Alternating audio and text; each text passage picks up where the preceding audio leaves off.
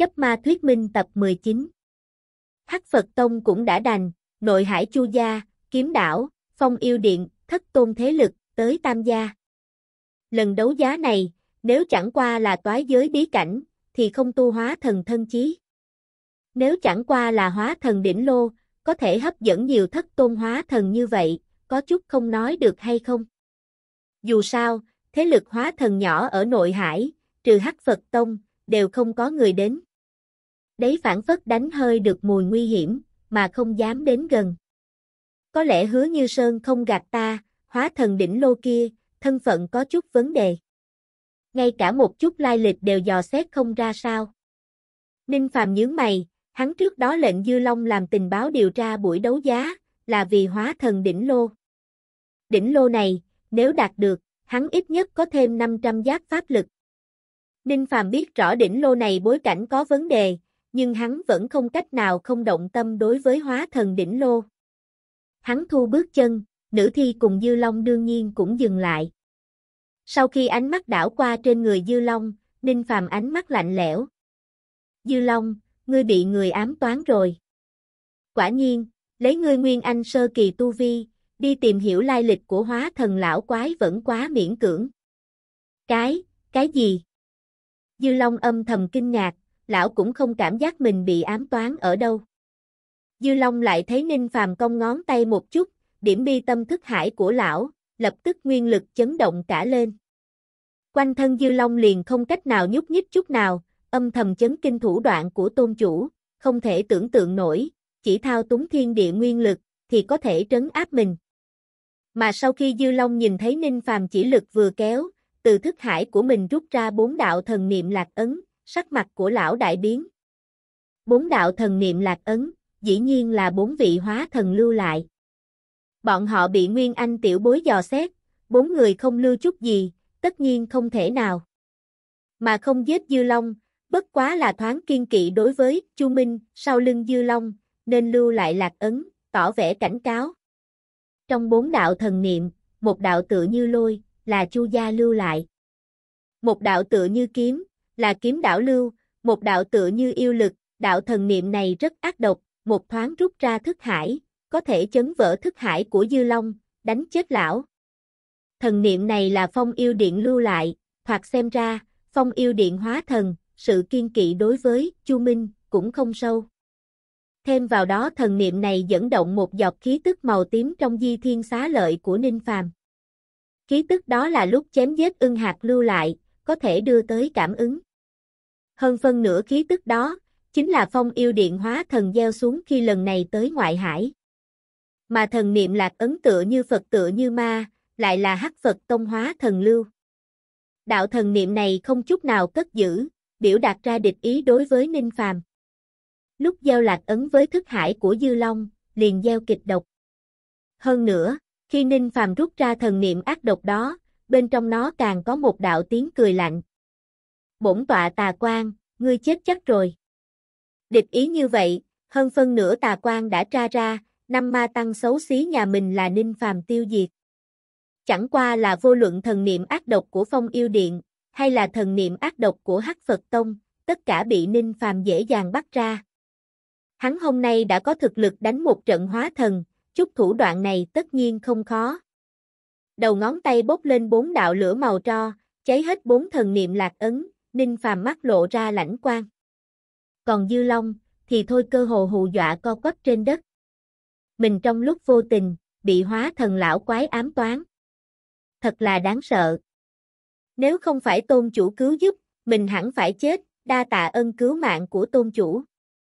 Dư Long cảm kích rơi nước mắt. Chuyện nhỏ thôi. Ngươi vì ta làm việc, bổn tôn tự sẽ không nhìn ngươi chết không. Trong lòng Ninh Phàm, từ chuyện này đoán được, Chu gia cùng kiếm đảo, trước mắt mà nói, đối với mình cũng không có ý nhằm vào, cũng không trọng thị. Còn Phong yêu điện, dường như vẫn không phát hiện mình diệt đi ưng hạt, có lẽ họ căn bản không quan tâm với cái chết của ưng hạt. Về phần Hắc Phật Tông, Tông này đã xác minh hướng mình biểu lộ địch ý. Sở dĩ không ở trên đảo động thủ, hơn phân nữa là tà quan tăng nghe nói hứa như Sơn giao hảo mình, kiên kỵ lực ảnh hưởng của hứa như Sơn.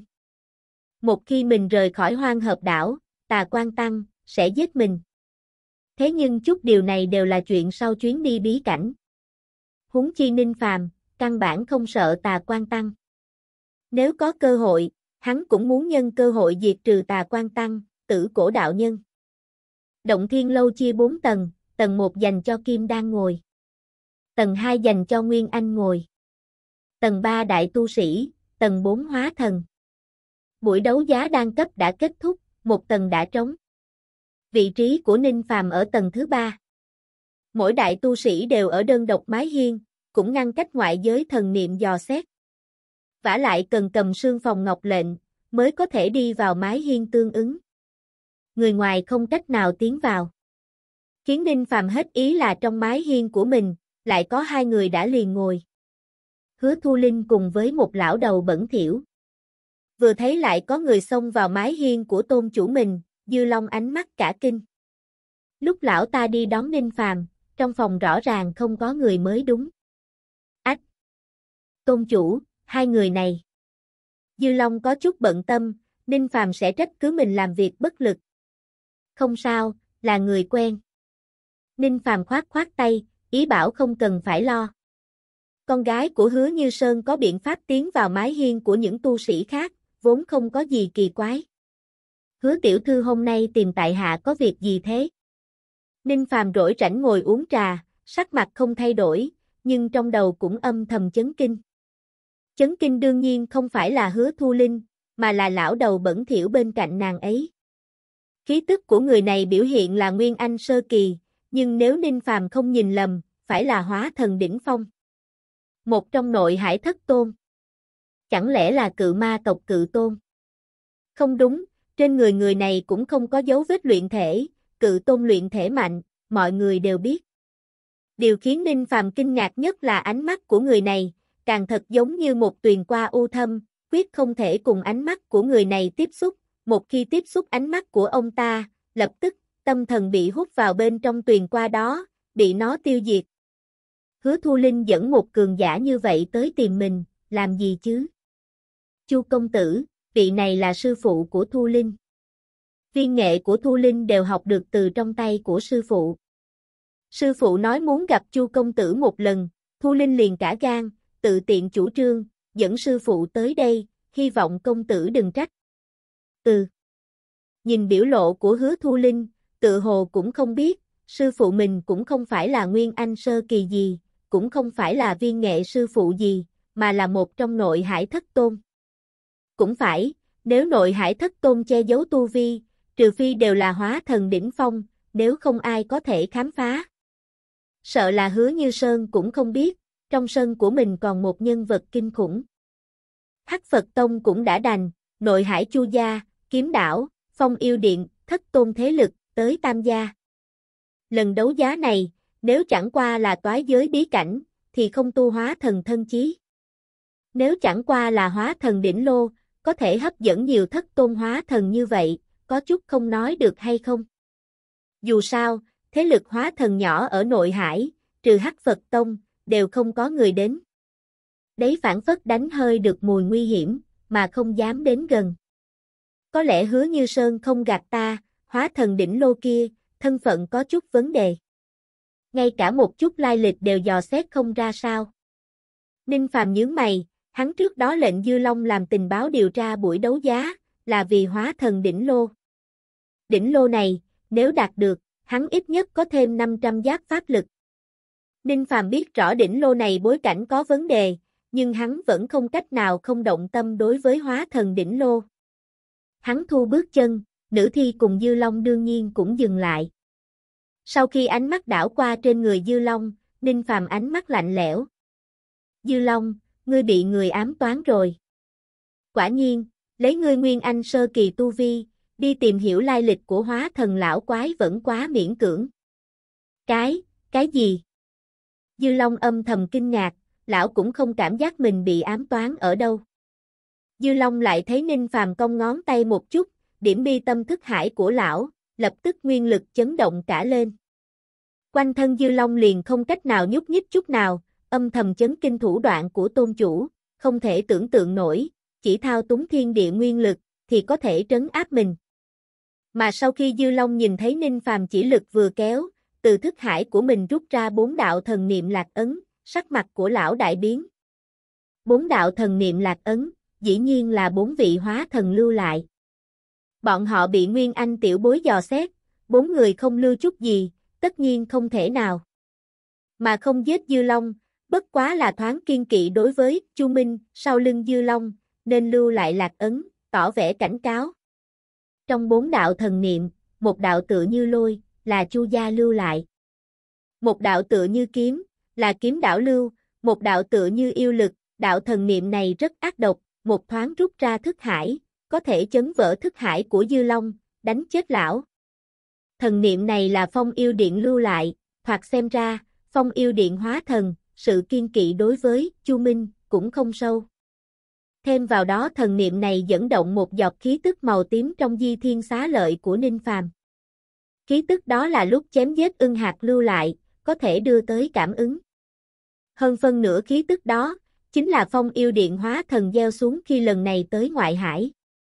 Mà thần niệm lạc ấn tựa như Phật tựa như ma, lại là hắc Phật tông hóa thần lưu. Đạo thần niệm này không chút nào cất giữ, biểu đạt ra địch ý đối với Ninh Phàm.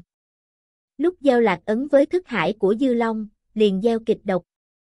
Hơn nữa, khi Ninh Phàm rút ra thần niệm ác độc đó, bên trong nó càng có một đạo tiếng cười lạnh. Bổn tọa tà quan, ngươi chết chắc rồi. Địch ý như vậy, hơn phân nửa tà quan đã tra ra, năm ma tăng xấu xí nhà mình là Ninh Phàm tiêu diệt. Chẳng qua là vô luận thần niệm ác độc của Phong Yêu Điện, hay là thần niệm ác độc của Hắc Phật Tông, tất cả bị Ninh Phàm dễ dàng bắt ra. Hắn hôm nay đã có thực lực đánh một trận hóa thần, chút thủ đoạn này tất nhiên không khó. Đầu ngón tay bốc lên bốn đạo lửa màu tro, cháy hết bốn thần niệm lạc ấn, Ninh Phàm mắt lộ ra lãnh quang. Còn Dư Long, thì thôi cơ hồ hù dọa co quắp trên đất. Mình trong lúc vô tình, bị hóa thần lão quái ám toán. Thật là đáng sợ. Nếu không phải tôn chủ cứu giúp, mình hẳn phải chết, đa tạ ân cứu mạng của tôn chủ. Dư Long cảm kích rơi nước mắt. Chuyện nhỏ thôi. Ngươi vì ta làm việc, bổn tôn tự sẽ không nhìn ngươi chết không. Trong lòng Ninh Phàm, từ chuyện này đoán được, Chu gia cùng kiếm đảo, trước mắt mà nói, đối với mình cũng không có ý nhằm vào, cũng không trọng thị. Còn Phong yêu điện, dường như vẫn không phát hiện mình diệt đi ưng hạt, có lẽ họ căn bản không quan tâm với cái chết của ưng hạt. Về phần Hắc Phật Tông, tông này đã xác minh hướng mình biểu lộ địch ý. Sở dĩ không ở trên đảo động thủ, hơn phân nữa là tà quan tăng nghe nói hứa như Sơn giao hảo mình, kiên kỵ lực ảnh hưởng của hứa như Sơn. Một khi mình rời khỏi hoang hợp đảo, tà quan tăng, sẽ giết mình. Thế nhưng chút điều này đều là chuyện sau chuyến đi bí cảnh. Húng chi ninh phàm, căn bản không sợ tà quan tăng. Nếu có cơ hội, hắn cũng muốn nhân cơ hội diệt trừ tà quan tăng, tử cổ đạo nhân. Động thiên lâu chia 4 tầng, tầng 1 dành cho Kim đang ngồi. Tầng 2 dành cho Nguyên Anh ngồi. Tầng 3 đại tu sĩ, tầng 4 hóa thần. Buổi đấu giá đăng cấp đã kết thúc, một tầng đã trống. Vị trí của Ninh Phàm ở tầng thứ 3. Mỗi đại tu sĩ đều ở đơn độc mái hiên, cũng ngăn cách ngoại giới thần niệm dò xét. vả lại cần cầm sương phòng ngọc lệnh, mới có thể đi vào mái hiên tương ứng. Người ngoài không cách nào tiến vào. Khiến Ninh Phàm hết ý là trong mái hiên của mình, lại có hai người đã liền ngồi. Hứa Thu Linh cùng với một lão đầu bẩn thỉu. Vừa thấy lại có người xông vào mái hiên của tôn chủ mình, Dư Long ánh mắt cả kinh. Lúc lão ta đi đón Ninh Phàm, trong phòng rõ ràng không có người mới đúng. Tôn chủ, hai người này. Dư Long có chút bận tâm, Ninh Phàm sẽ trách cứ mình làm việc bất lực. Không sao, là người quen. Ninh Phàm khoát khoát tay, ý bảo không cần phải lo. Con gái của Hứa Như Sơn có biện pháp tiến vào mái hiên của những tu sĩ khác, vốn không có gì kỳ quái. Hứa tiểu thư hôm nay tìm tại hạ có việc gì thế? Ninh Phàm rỗi rảnh ngồi uống trà, sắc mặt không thay đổi, nhưng trong đầu cũng âm thầm chấn kinh. Chấn kinh đương nhiên không phải là hứa thu linh, mà là lão đầu bẩn thiểu bên cạnh nàng ấy. Khí tức của người này biểu hiện là Nguyên Anh sơ kỳ, nhưng nếu Ninh Phàm không nhìn lầm, phải là hóa thần đỉnh phong. Một trong nội hải thất tôn. Chẳng lẽ là cự ma tộc cự tôn? Không đúng, trên người người này cũng không có dấu vết luyện thể, cự tôn luyện thể mạnh, mọi người đều biết. Điều khiến Ninh Phàm kinh ngạc nhất là ánh mắt của người này, càng thật giống như một tuyền qua u thâm, quyết không thể cùng ánh mắt của người này tiếp xúc, một khi tiếp xúc ánh mắt của ông ta, lập tức, tâm thần bị hút vào bên trong tuyền qua đó, bị nó tiêu diệt. Hứa Thu Linh dẫn một cường giả như vậy tới tìm mình, làm gì chứ? Chu công tử, vị này là sư phụ của Thu Linh. Viên nghệ của Thu Linh đều học được từ trong tay của sư phụ. Sư phụ nói muốn gặp Chu công tử một lần, Thu Linh liền cả gan, tự tiện chủ trương, dẫn sư phụ tới đây, hy vọng công tử đừng trách. Ừ. Nhìn biểu lộ của hứa Thu Linh, tự hồ cũng không biết, sư phụ mình cũng không phải là nguyên anh sơ kỳ gì, cũng không phải là viên nghệ sư phụ gì, mà là một trong nội hải thất tôn. Cũng phải, nếu nội hải thất tôn che giấu tu vi, trừ phi đều là hóa thần đỉnh phong, nếu không ai có thể khám phá. Sợ là hứa như Sơn cũng không biết, trong sân của mình còn một nhân vật kinh khủng. Lão hữu tên là Thủy Nghiệp, ra mắt Chu Minh đạo hữu. Nghe danh không bằng gặp mặt, chà chà chà, đạo hữu có định lực tuyệt lắm. Thấy bộ dáng của lão phu, còn có thể ung dung uống trà. Nói thế người ở bên ngoài nghe được, có lẽ khen ngợi Ninh Phàm không trong mặt mà bắt hình dong, không bởi vì lão đầu bẩn thỉu mà đuổi người này đi. Nhưng giữa hai người Ninh Phàm cùng lão giả, họ nói thế lại rõ ràng là Thủy Nghiệp đang tán thưởng Ninh Phàm. Đối mặt một trong nội hải thất tôn, còn có thể tự tại uống trà, nếu không phải gan lớn bằng trời, chính là có thủ đoạn tự phụ, có thể không sợ thất tôn. Nhưng, sắc mặt Ninh Phàm ung dung, thực tế một khi hướng gió không đúng, hắn sẽ lập tức độn nhập vào nguyên giao giới. Nội hải thất tôn cùng mình có chút thiện duyên, có lẽ là cự tôn. Cùng mình có ác duyên, đương nhiên là phong yêu điện yêu tôn. Vị tôn này là một vị tôn đó. Thủy nghiệp. Động hư. Từ động hư lấy một nửa, chính là thủy nghiệp. Nếu động hư, người này cùng cự tôn có giao tình, như vậy cùng mình không phải là địch. Chẳng qua là Ninh Phàm vẫn không hiểu, đường đường động hư tôn, không ở nội hải ngây ngô, đến ngoại hải vì chuyện gì. Vãn bối Chu Minh, ra mắt động hư tôn. Không biết tiền bối tiền vãn bối, có gì chỉ giáo. Ninh Phàm truyền âm nói. Ừ. Ngươi đứa bé này, quả nhiên thông minh, đoán ra thân phận của lão hủ. Tìm ngươi có chuyện gì? Ách, cái này, lão hủ phải suy nghĩ thật kỹ.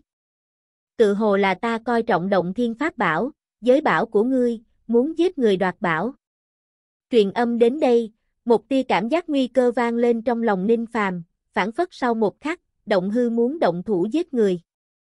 Nhưng một lát sau, lại thấy lão đầu bẩn thiểu này gãi gãi đầu, không ngừng lắc đầu. Không đúng, không đúng. Động thiên pháp bảo, lão hủ cũng có, muốn của ngươi làm gì? Về phần giới bảo kia của ngươi, là đồ của Di Thế Cung, ngươi dám cướp, lão hủ cũng không dám cầm. Ừ. Lão hủ suy nghĩ một chút, a, ta nghĩ tới rồi. Lão đầu lắc lư đầu óc, chợt mắt lộ ra tinh quang, chỉ một cái ninh phàm, lời nói ra kinh người. Lão hủ tìm ngươi, là muốn nói cho ngươi, ninh phàm ngươi, cuộc đời này tuyệt đối không thể hóa thần, nếu không. Hẳn phải chết. Động hư lão nhân, lại biết tên thật của ninh phàm. Hả? Tiền bối có thể tính ra tên họ của vãn bối sao? Trong lòng ninh phàm cười khổ, di thiên xá lợi này tự hồ che giấu không được sự nghiên cứu của động hư tôn. Chẳng qua là mặc dù cười khổ, sắc mặt hắn không có nửa phần kinh sắc. vả lại không tính là theo như hắn đoán, động hư cùng cự tôn đương nhiên có giao tình, dựa vào mối quan hệ giữa mình cùng cự ma tộc, người này sẽ không hại mình. Cho dù người này thật đúng là hại mình, mình có thể độn một cái vào nguyên giao giới, su các tị hung. Nếu liều mạng, Ninh Phàm còn có một tán ma. Mặc dù không liều mạng, trên tay Ninh Phàm mang nguyên giao ngọc, người hơi có thân phận đều sẽ hiểu, ngọc này có ý gì. Ninh Phàm hắn là phu quân của Bắc Tiểu Mang. Động hư ánh mắt ngưng trọng, chợt bật cười ha hả. Định lực tuyệt lắm.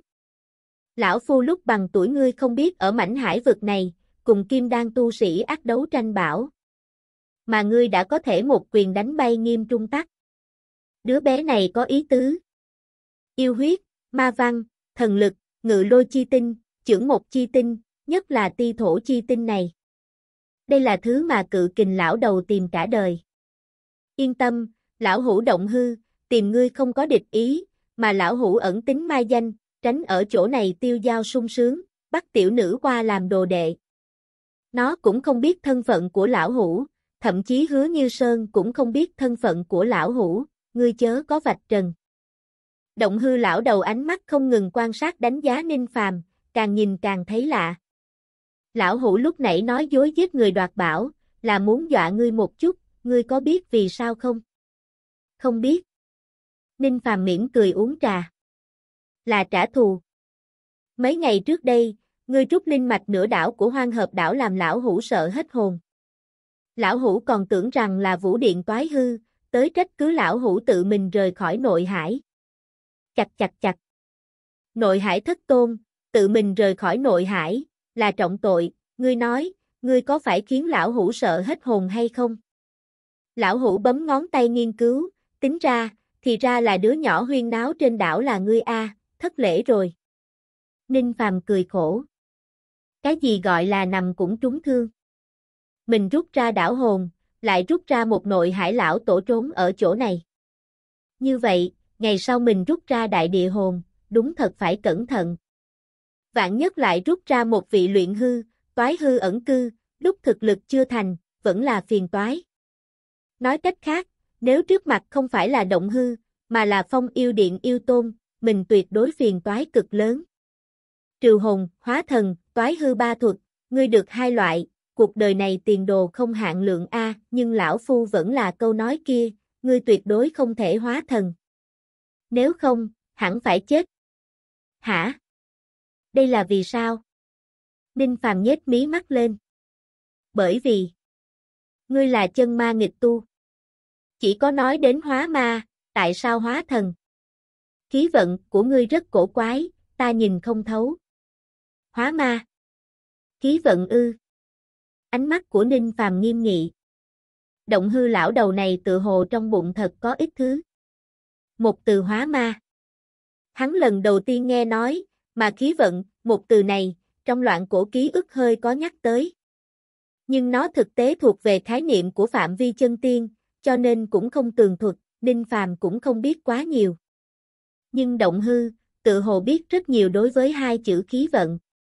Thiên vận chia bảy màu, khí vận chia bảy màu, đỏ, vàng chanh, vàng, xanh biếc, xanh đậm, xanh lam, tím. Màu đỏ là thấp nhất, màu tím là cao nhất. Người phàm không có vận, ít mạch màu đỏ, toái hư màu tím, nguyên anh tầm thường, khí vận là màu xanh biếc, mỗi khi bước vào hóa thần, khí vận có màu xanh càng đậm. Mà khí vận của đạo hữu, tuy cũng màu xanh biếc, nhưng mỗi bước vào hóa thần một bước, nó lại rơi xuống một chút màu vàng, rơi xuống. Có ý gì? Nói cách khác, bởi vì một ít nguyên nhân, khí vận của đạo hữu mất đi. Tu vi thăng tiến lên, khí vận lại tiêu mất. Nếu lão hữu đoán không nhầm, đạo hữu vốn là phàm thể, không có khí vận, một lần lấy được cơ duyên lớn, mà khí vận một đường ép thăng tới tử khí. Chẳng qua là chẳng biết tại sao, tử khí đó lại càng héo hắt, theo đạo hữu tu vi thăng tiến lên, khí vận từ từ tiêu mất, là tựa như rành rành có người nghiên cứu đạo hữu, cướp đi hết khí vận của đạo hữu. Nếu đến toái hư, khí vận của đạo hữu hết sạch, khi đó, có lẽ là lúc đạo hữu bỏ mình. Ninh Phàm cau mày, từ chối cho ý kiến. Động hư này nói càng ngày càng khó tin, nhưng tự hồ cũng không phải là toàn nói sằng nói bậy. Mình vốn là người phàm, đạt được âm dương tỏa, truyền thừa loạn cổ đại đế ký ức, mà khi đó, tự hồ là lúc khí vận mình thịnh nhất. Mình đi ở thất mai, cũng có thể đạt được ngọc hoàng thảo, bàn ma thảo, giết kim đan cũng có thể được đạo quả. Tu vi càng đề cao, mình phiền toái quả nhiên càng nhiều, vận khí dường như càng ngày càng kém, giết nhiều nguyên anh như thế, tự hồ còn chưa ra được đạo quả. Tự hồ, động hư lão đầu này nói rất có đạo lý, khí vận mình thật đúng là bị mất hay sao? Nếu đánh mất, là ai nghiên cứu mình đây? điều khiến cho lão hữu không hiểu, thực tế là mệnh cách của đạo hữu. Đạo hữu cốt linh chỉ có 340 tuổi, nhưng mệnh cách lại kéo dài 1.300 năm. Ngàn năm trước vì liều mạng, chuyện mệnh cách cùng tuổi thọ không hợp, lão hữu còn lần đầu gặp. Nhắc tới, tình hình như thế, tựa như yêu vật ngủ say của yêu linh chi địa trong tinh đồn. Yêu tướng thọ bất quá mấy ngàn năm, nhưng ngủ say mấy chục vạn năm, tuổi thọ không giảm. Tuy nhiên, đạo hữu lại không phải là yêu tướng. Ừ, đầy có chút kỳ quái. Động hư lầm bầm lầu bầu, ngôn ngữ kỳ quái, Ninh Phàm càng lúc càng khó hiểu. Hắn khẽ lắc đầu, động hư tới tìm mình, chẳng lẽ là vì nói những lời không rõ này. Chánh sự của tiền bối, không tính nói lại sao? Ninh Phàm bất đắc dĩ nhắc nhở. A, đúng.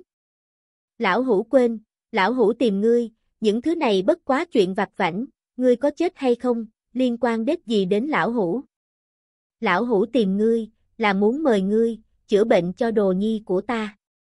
Ngươi đương nhiên đã nhìn ra, dị trạng trong cơ thể Thu Linh rồi chứ. Động hư ánh mắt ngưng trọng, vẻ điên cuồng tản đi. Ta nhìn thấu một ít. Cô gái này tiên thiên thiếu kim, mệnh cách 16 tuổi hẳn phải chết, nhưng làm đến kim đang đỉnh phong. Bởi vì, có người lấy một đạo cổ kiếm cực kỳ bá đạo, chấn vỡ kiếm khí kim linh lực, sâu vào trong cơ thể cô gái này, khóa lại mạch sống không dứt của nàng. Vãn bối vốn còn đang suy nghĩ, hứa như Sơn có bản lãnh nữa, cũng không cách nào tìm được kiếm khí lợi hại như thế, nếu động hư tiền bối gây nên, thì hết thảy nói xuôi được rồi. Chẳng qua là vãn bối có một nghi vấn, tiền bối vì sao phải thu thu linh làm đồ đệ, lại vì sao phải lấy kiếm khí, bảo vệ tánh mạng cho nàng. Tâm huyết lai triều, rỗi rảnh vô cùng nhàm chán. Câu trả lời của động hư khiến Ninh Phàm dở khóc dở cười. Động hư thu đồ đệ, đúng là rỗi rảnh vô cùng nhàm chán, nhưng lòng cứu người cũng không giả. Ông ta thích hoa, hứa thu linh cũng thích hoa, cho nên, ông ta thu cô gái này làm đồ đệ. Chẳng qua là ông ta phát giác cô gái này mệnh mỏng. Cô gái này tiên thiên thiếu kim, đều bởi vì nguyên từ chi lực của hứa như sơn quá mạnh, cô gái này lúc còn trong bụng mẹ liền bị cướp đi kim mệnh. Vì vậy, động hư liền lên kiếm đảo, cùng kiếm tôn sau một phen ngọt bùi cứng rắn, lấy đi một đạo cổ kiếm, chấn vỡ đánh nhập vào trong cơ thể hứa thu linh. Nhưng mà chút đó cũng không phải là kế hoạch lâu dài.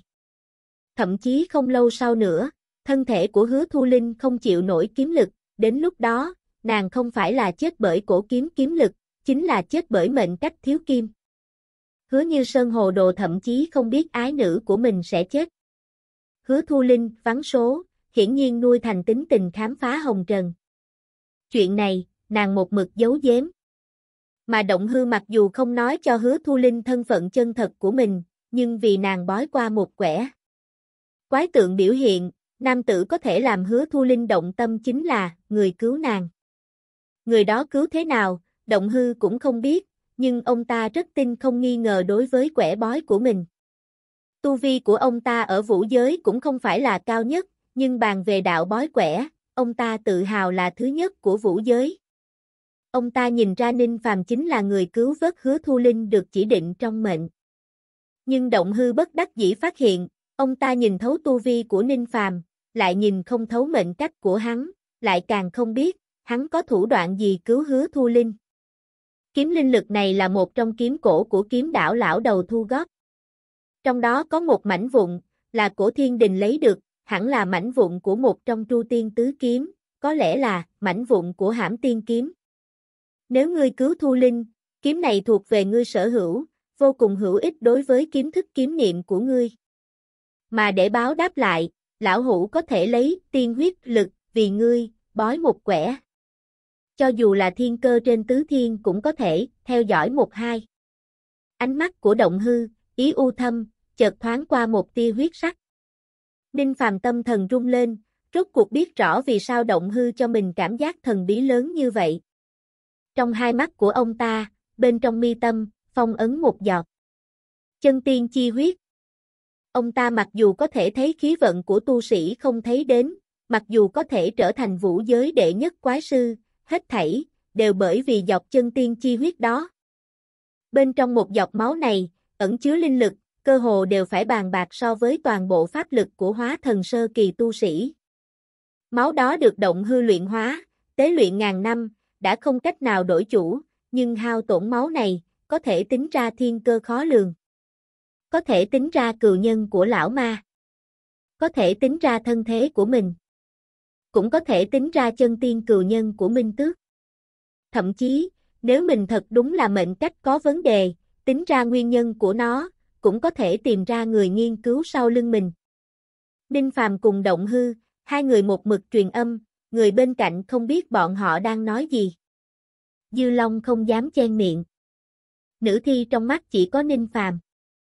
Hứa Thu Linh lại âm thầm khẩn trương, khẩn trương sư phụ mình đang cùng Ninh Phàm nói những gì. Rốt cục, hai người không hề truyền âm nữa, mà động hư lộ ra vẻ nghiêm túc. Ngươi có nguyện cưới Linh Nhi, cũng như cứu nàng thoát khỏi bể khổ. Nếu ngươi nguyện ý, lão hủ có thể giúp ngươi lấy được ma la truyền thừa của cự kình lão nhi. Nếu ngươi nguyện ý, lão hủ giúp ngươi hao tổn chân tiên chi huyết, tính ra thiên cơ. Nếu ngươi nguyện ý, lão hủ vì ngươi luyện chế một bảo vật, chớ nói hóa thần cảm giác, ngay cả toái hư lão quái, cũng không nhìn ra lá bài tẩy của ngươi nữa.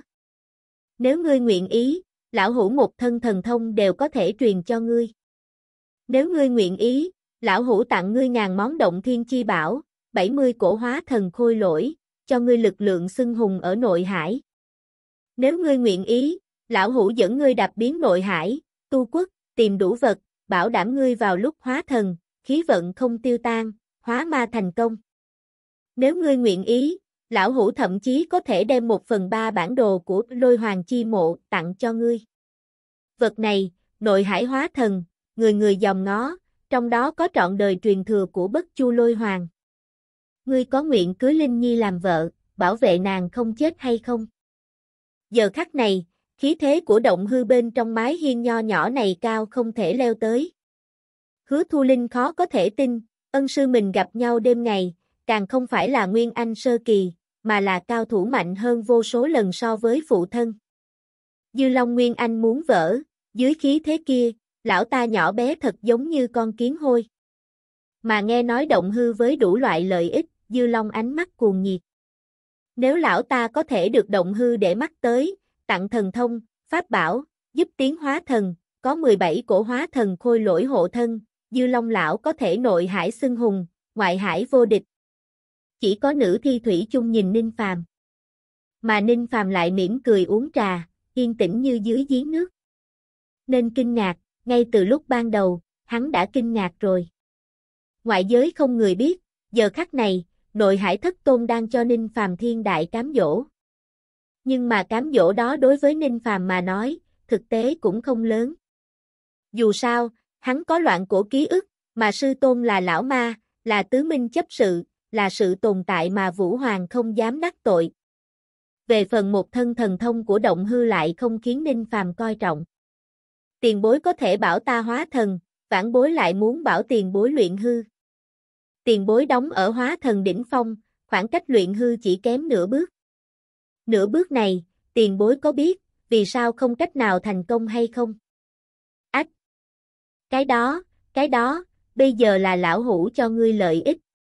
Người, ta nguyện ý cứu. Hơn nữa ta chẳng những có thể cứu nàng, còn cưới nàng, còn có thể trợ giúp ngài đột phá luyện hư cảnh giới. Cái gì? Ngươi có thể trợ giúp lão phu đột phá luyện hư kỳ sao? Điều này sao có thể? Lão phu đóng ở bình cảnh này đã vượt qua ngàn năm. Động hư có chút loạn, vô cùng loạn. Vốn dĩ ông ta cho Ninh Phàm lợi ích, sao bây giờ ngược lại bị Ninh Phàm hứa hẹn lợi ích? Tiểu tử này lông còn chưa mọc, có thể giúp bản thân mình đột phá luyện hư kỳ ư? Đùa gì thế? Hắn hiểu được hư không chi lực sao? Hoặc là hắn sẽ luyện chế lục chuyển đan dược, giúp bản thân mình đột phá cảnh giới sao? Còn nữa, tiểu tử này, nói thế nào thì nói, quả nhiên trợ giúp mình. Hắn có kế hoạch gì? Hư không cảm ngộ sao? Ninh Phàm cười một tiếng, đem sự vận dụng tâm đắc đối với hư không chi lực trong loạn cổ ký ức, in xuống, đưa cho động hư. Tâm đắc này, cảnh giới của hắn chưa đủ, không cách nào lĩnh ngộ, nhìn tâm đắc này, tựa như nhìn yêu lộ văn tự không hề quen biết, biết hình dáng nhưng không biết ngữ nghĩa gì. Nhưng động hư, vừa nhìn nội dung của ngọc giảng này, lập tức sắc mặt đại biến. Ông ta cùng với Ninh Phàm bất đồng. Ông ta dừng lại ở hóa thần đỉnh phong ngàn năm, đối với hư không chi lực, có không ít nghiên cứu, mặc dù nghiên cứu đó, hoàn toàn chưa sờ tới phương hướng chính xác mà thôi. Sự tâm đắc kia cho động hư một phương hướng, nhưng bởi vì chỉ có một nửa, cũng không hoàn chỉnh. Có ngọc giảng này, động hư có thể thấy phương hướng đột phá. Mà nếu có đầy đủ ngọc giản, ông ta thậm chí có cơ hội, chạm được bình cảnh của luyện hư kỳ. Một khi đụng chạm bình cảnh, là có thể nếm thử đột phá cảnh giới, về phần tỷ lệ thành công, cần đan dược, lại là vấn đề suy nghĩ thêm sau này. Hôm nay động hư, ngay cả ngưỡng cửa đều không tìm được, cần gì phải đi suy tư thủ đoạn vượt qua ngưỡng cửa. Động hư nuốt một ngụm nước bọt. Ông ta vốn dĩ hứa hẹn cho Ninh Phàm lợi ích, giờ phút này, lại bị một ngọc giảng của Ninh Phàm, làm cho á khẩu không trả lời được. Chà chà, đây là tâm đắc thể nghiệm gì của cao thủ? Người này vận dụng đối với hư không chi lực, cho dù là động hư nghiên cứu ngàn năm đối với hư không chi lực, cũng có thể từ bề ngoài của chữ nhìn đại khái được chút da lông gì đó. Chẳng qua là càng xem nội dung, trong lòng của ông ta mê mang một tia quét tới. Đợi quét xong hết tất cả mê mang, ông ta có thể nhúng tay đột phá luyện hư kỳ. Tiểu, tiểu hữu. Ngươi nói đi. Điều kiện gì, ngươi mới cho ta hoàn chỉnh ngọc giảng. Động hư hồn nhiên quên mất rồi, mình mới vừa ý khí phong phát bực nào. Một trong nội hải thất tôn này, càng đối với Ninh Phàm lần đầu tiên lộ ra vẻ lấy lòng. Ông ta nhìn ra được, Ninh Phàm in xuống là ký ức. Ký ức loại vật này có thể sưu hồn, nhìn đại khái, nhưng nhìn tất là tàn phá, vạn nhất lọt cái gì đó, thật là đáng tiếc. Đầu tiên, ngài hãy cố gắng giữ bí mật lai lịch của Chu Mổ mà ngài đã tính ra. Tiếp theo, ngài nói đến vật che giấu cảm giác của toái hư, Chu Mổ rất cảm thấy hứng thú. Trừ tiên huyết bạc toán, ta còn muốn ngài vì ta xuất thủ ba lần. Ngàn món động thiên chi bảo, 17 cổ hóa thần khôi lỗi, ta tất nhiên cần. Lợi ích mà ngài hứa hẹn, ta không bỏ cái nào, toàn bộ lấy hết. Ngài phát ra tâm ma đại thệ, hứa hẹn ta chút yêu cầu này, nửa bộ ngọc giảng, ta chấp tay dâng lên. Ninh Phàm khẽ mỉm cười. Đây không phải là động hư đang cùng hắn nói điều kiện, mà là hắn đang cùng động hư nói điều kiện. Người này một thân bạc toán chi thuật, khí vận chi đạo, ngộ tính của động thiên pháp bảo, khôi lỗi bí thuật, khiến cho Ninh Phàm hơi bội phục. Mặc dù mình ỷ vào loạn cổ ký ức, cũng bất quá cùng ông ta tám lạng nửa cân. Người này là một nhân tài, nhân tài cần phải thu. Có lẽ ở tương lai không lâu, mình có thể dựa vào tiên huyết bạc toán chi thuật của động hư, tránh qua đại kiếp. Ách! Động hư nắm ngọc giảng, trong lòng đấu tranh phức tạp. Tu vi đến một bước này, ông ta nói không muốn đột phá luyện hư, đó là gạt quỷ. Nhưng rõ ràng là mình cùng Ninh Phàm nói điều kiện, sao thành ngược lại thế kia? Chuyện đó, ngươi có nguyện cưới Linh Nhi không? Động hư đè xuống dục vọng trong lòng, đột phá luyện hư kỳ so với mệnh của hứa thu linh, ông ta chọn thứ sau. Đây là một sư phó tốt, khó có được. Chu Minh ta, đối với nữ tử cho tới bây giờ là không từ chối người tới, ta tự sẽ không muốn, nhưng mà Thu Linh tiểu thư chưa chắc nguyện ý gả cho ta. Tuy nhiên ngài yên tâm, mặc dù không có danh nghĩa phu thê, ta cũng sớm chuẩn bị cứu nàng. Nhưng kiếm khí của mảnh vụn hãm tiên kiếm kia, đối với ta mà nói, chính là cám dỗ cực lớn, nhưng chuyện này cần từ chối. Sau chuyến đi toái giới bí cảnh, ta xuất thủ cứu người. Được. Như vậy, lão hủ sẽ phát tâm ma huyết thệ, nếu ngươi có thể cứu Linh Nhi, cũng như, cũng như đưa cho lão hủ ngọc giảng còn dư lại, động hư ta liền đáp ứng điều kiện trước đó của ngươi. Dư Long ngây ngẩn cả người. Động hư, lão đầu này điên điên khùng khùng hẳn là động hư. Một trong nội hải thất tôn. Cách đánh giá về giá trị của lão đã hoàn toàn bị quá tải rồi. Tôn chủ mình cùng động hư nói chuyện, lão hoàn toàn không đủ tầm mức, nghe mà không hiểu rõ. Nhưng lão biết, Cái gọi là nội hải chí tôn ở trước mặt tôn chủ mình đang tiến hành lấy lòng, nhận kém rồi. Cái thế giới này, có quá điên cuồng hay không? Bên trong sương phòng, Ninh Phàm mỉm cười không nói, quan sát hồi cuối của buổi đấu giá cấp Nguyên Anh. Động hư thì cười khổ. Ông ta giải thích cho hứa Thu Linh thân phận giấu giếm của mình. Hứa Thu Linh vạn lần không thể nào ngờ tới, dưỡng hoa sư phụ mà mình tùy ý bái sư lại là nhân vật lợi hại như thế. Điều càng khiến nàng xấu hổ, chính là vị sư phụ của mình ngày thường có vẻ điên điên này, chỉ vài ba lời, đã đem mình gả cho Ninh Phàm rồi. Mặc dù ý của nàng không phải là không muốn, nhưng nhưng hôn sự của nữ nhi gia lại có thể vội vàng quyết định như vậy sao? Nàng khe khẽ thở dài, nhưng ánh mắt rơi vào trên nụ cười trầm tĩnh của Ninh Phàm thì trái tim rung lên. Mình có phải vẫn coi thường Chu công tử hay không? Có thể khiến cho phụ thân cùng Nghiêm bá bá kết giao, hôm nay vừa có thể khiến cho một trong nội hải thất tôn cúi đầu. Thậm chí, thậm chí Chu công tử còn chỉ điểm sư phụ mình, làm thế nào đột phá luyện hư kỳ. Nàng nhìn không thấu, bất khả tư nghị. Lông mi của hứa thu linh trong nháy mắt nhìn Ninh Phàm, mặt đẹp ửng hồng. Ninh Phàm vân đạm phong kinh thật rất có mị lực. Nàng thích nam tử lạnh nhạt như vậy. Phụ thân của mình chính là một ma đầu buôn bán đỉnh lô, nàng gặp quá nhiều ma đầu, nhưng không người nào ung dung như người này.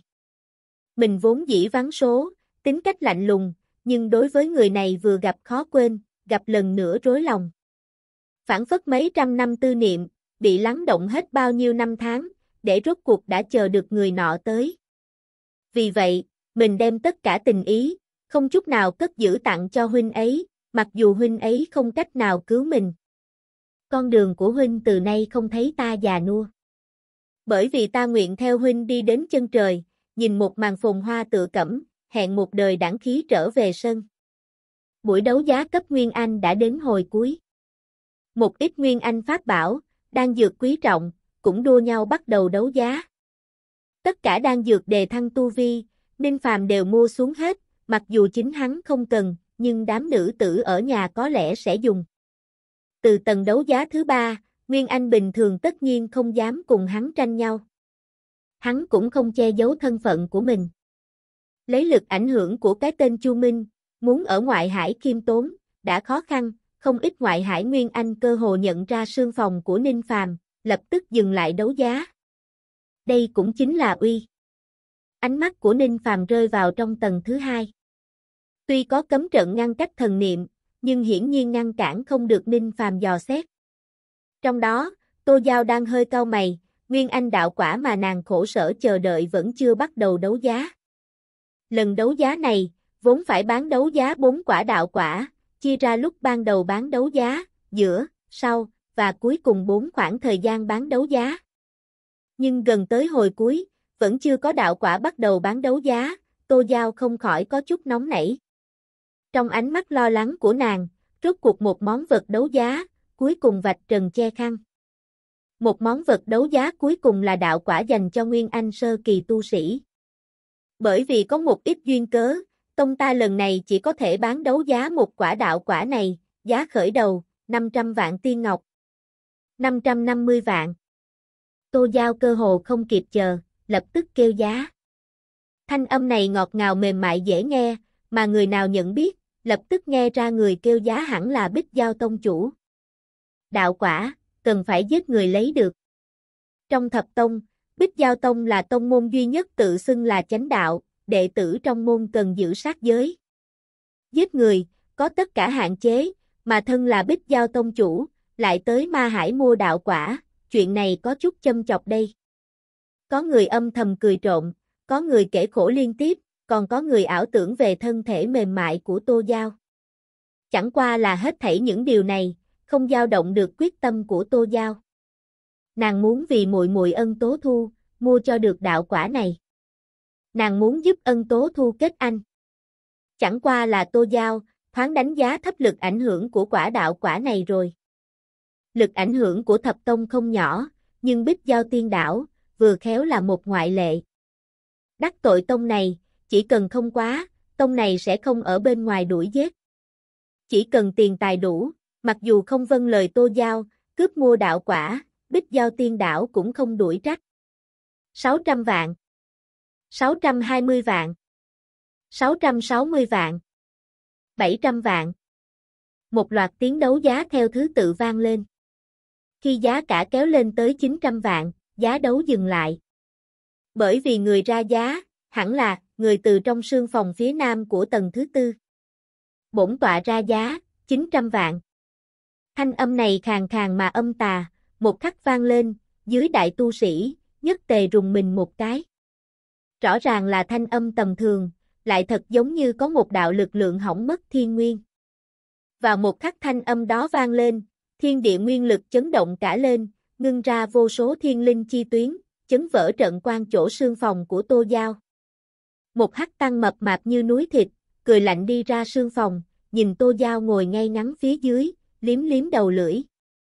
Người này, chính là đỉnh lô mà mật liên tiểu tử chuẩn bị sao, chặt chặt, bộ dáng không tệ, là loại hình mà bổn tọa thích. Tuy nhiên mật liên bởi vì ngươi mà chết, nên ngươi phải, chết đi. Hắc tăng núi thịt, trong mắt tà quan chợt lóe, sau lưng hiện ra một cái Phật ảnh màu đen tà niệm ngập trời, cao sáu trượng. Phật ảnh đó bạo tán, hóa thành một đạo khói đen, cuốn đi về phía Tô Giao. Chẳng qua là chỉ có hóa thần mới nhìn ra được, đó làm gì là khói, rõ ràng là tuyệt sát thuật do một tia thiên linh chi lực màu đen ngưng tụ.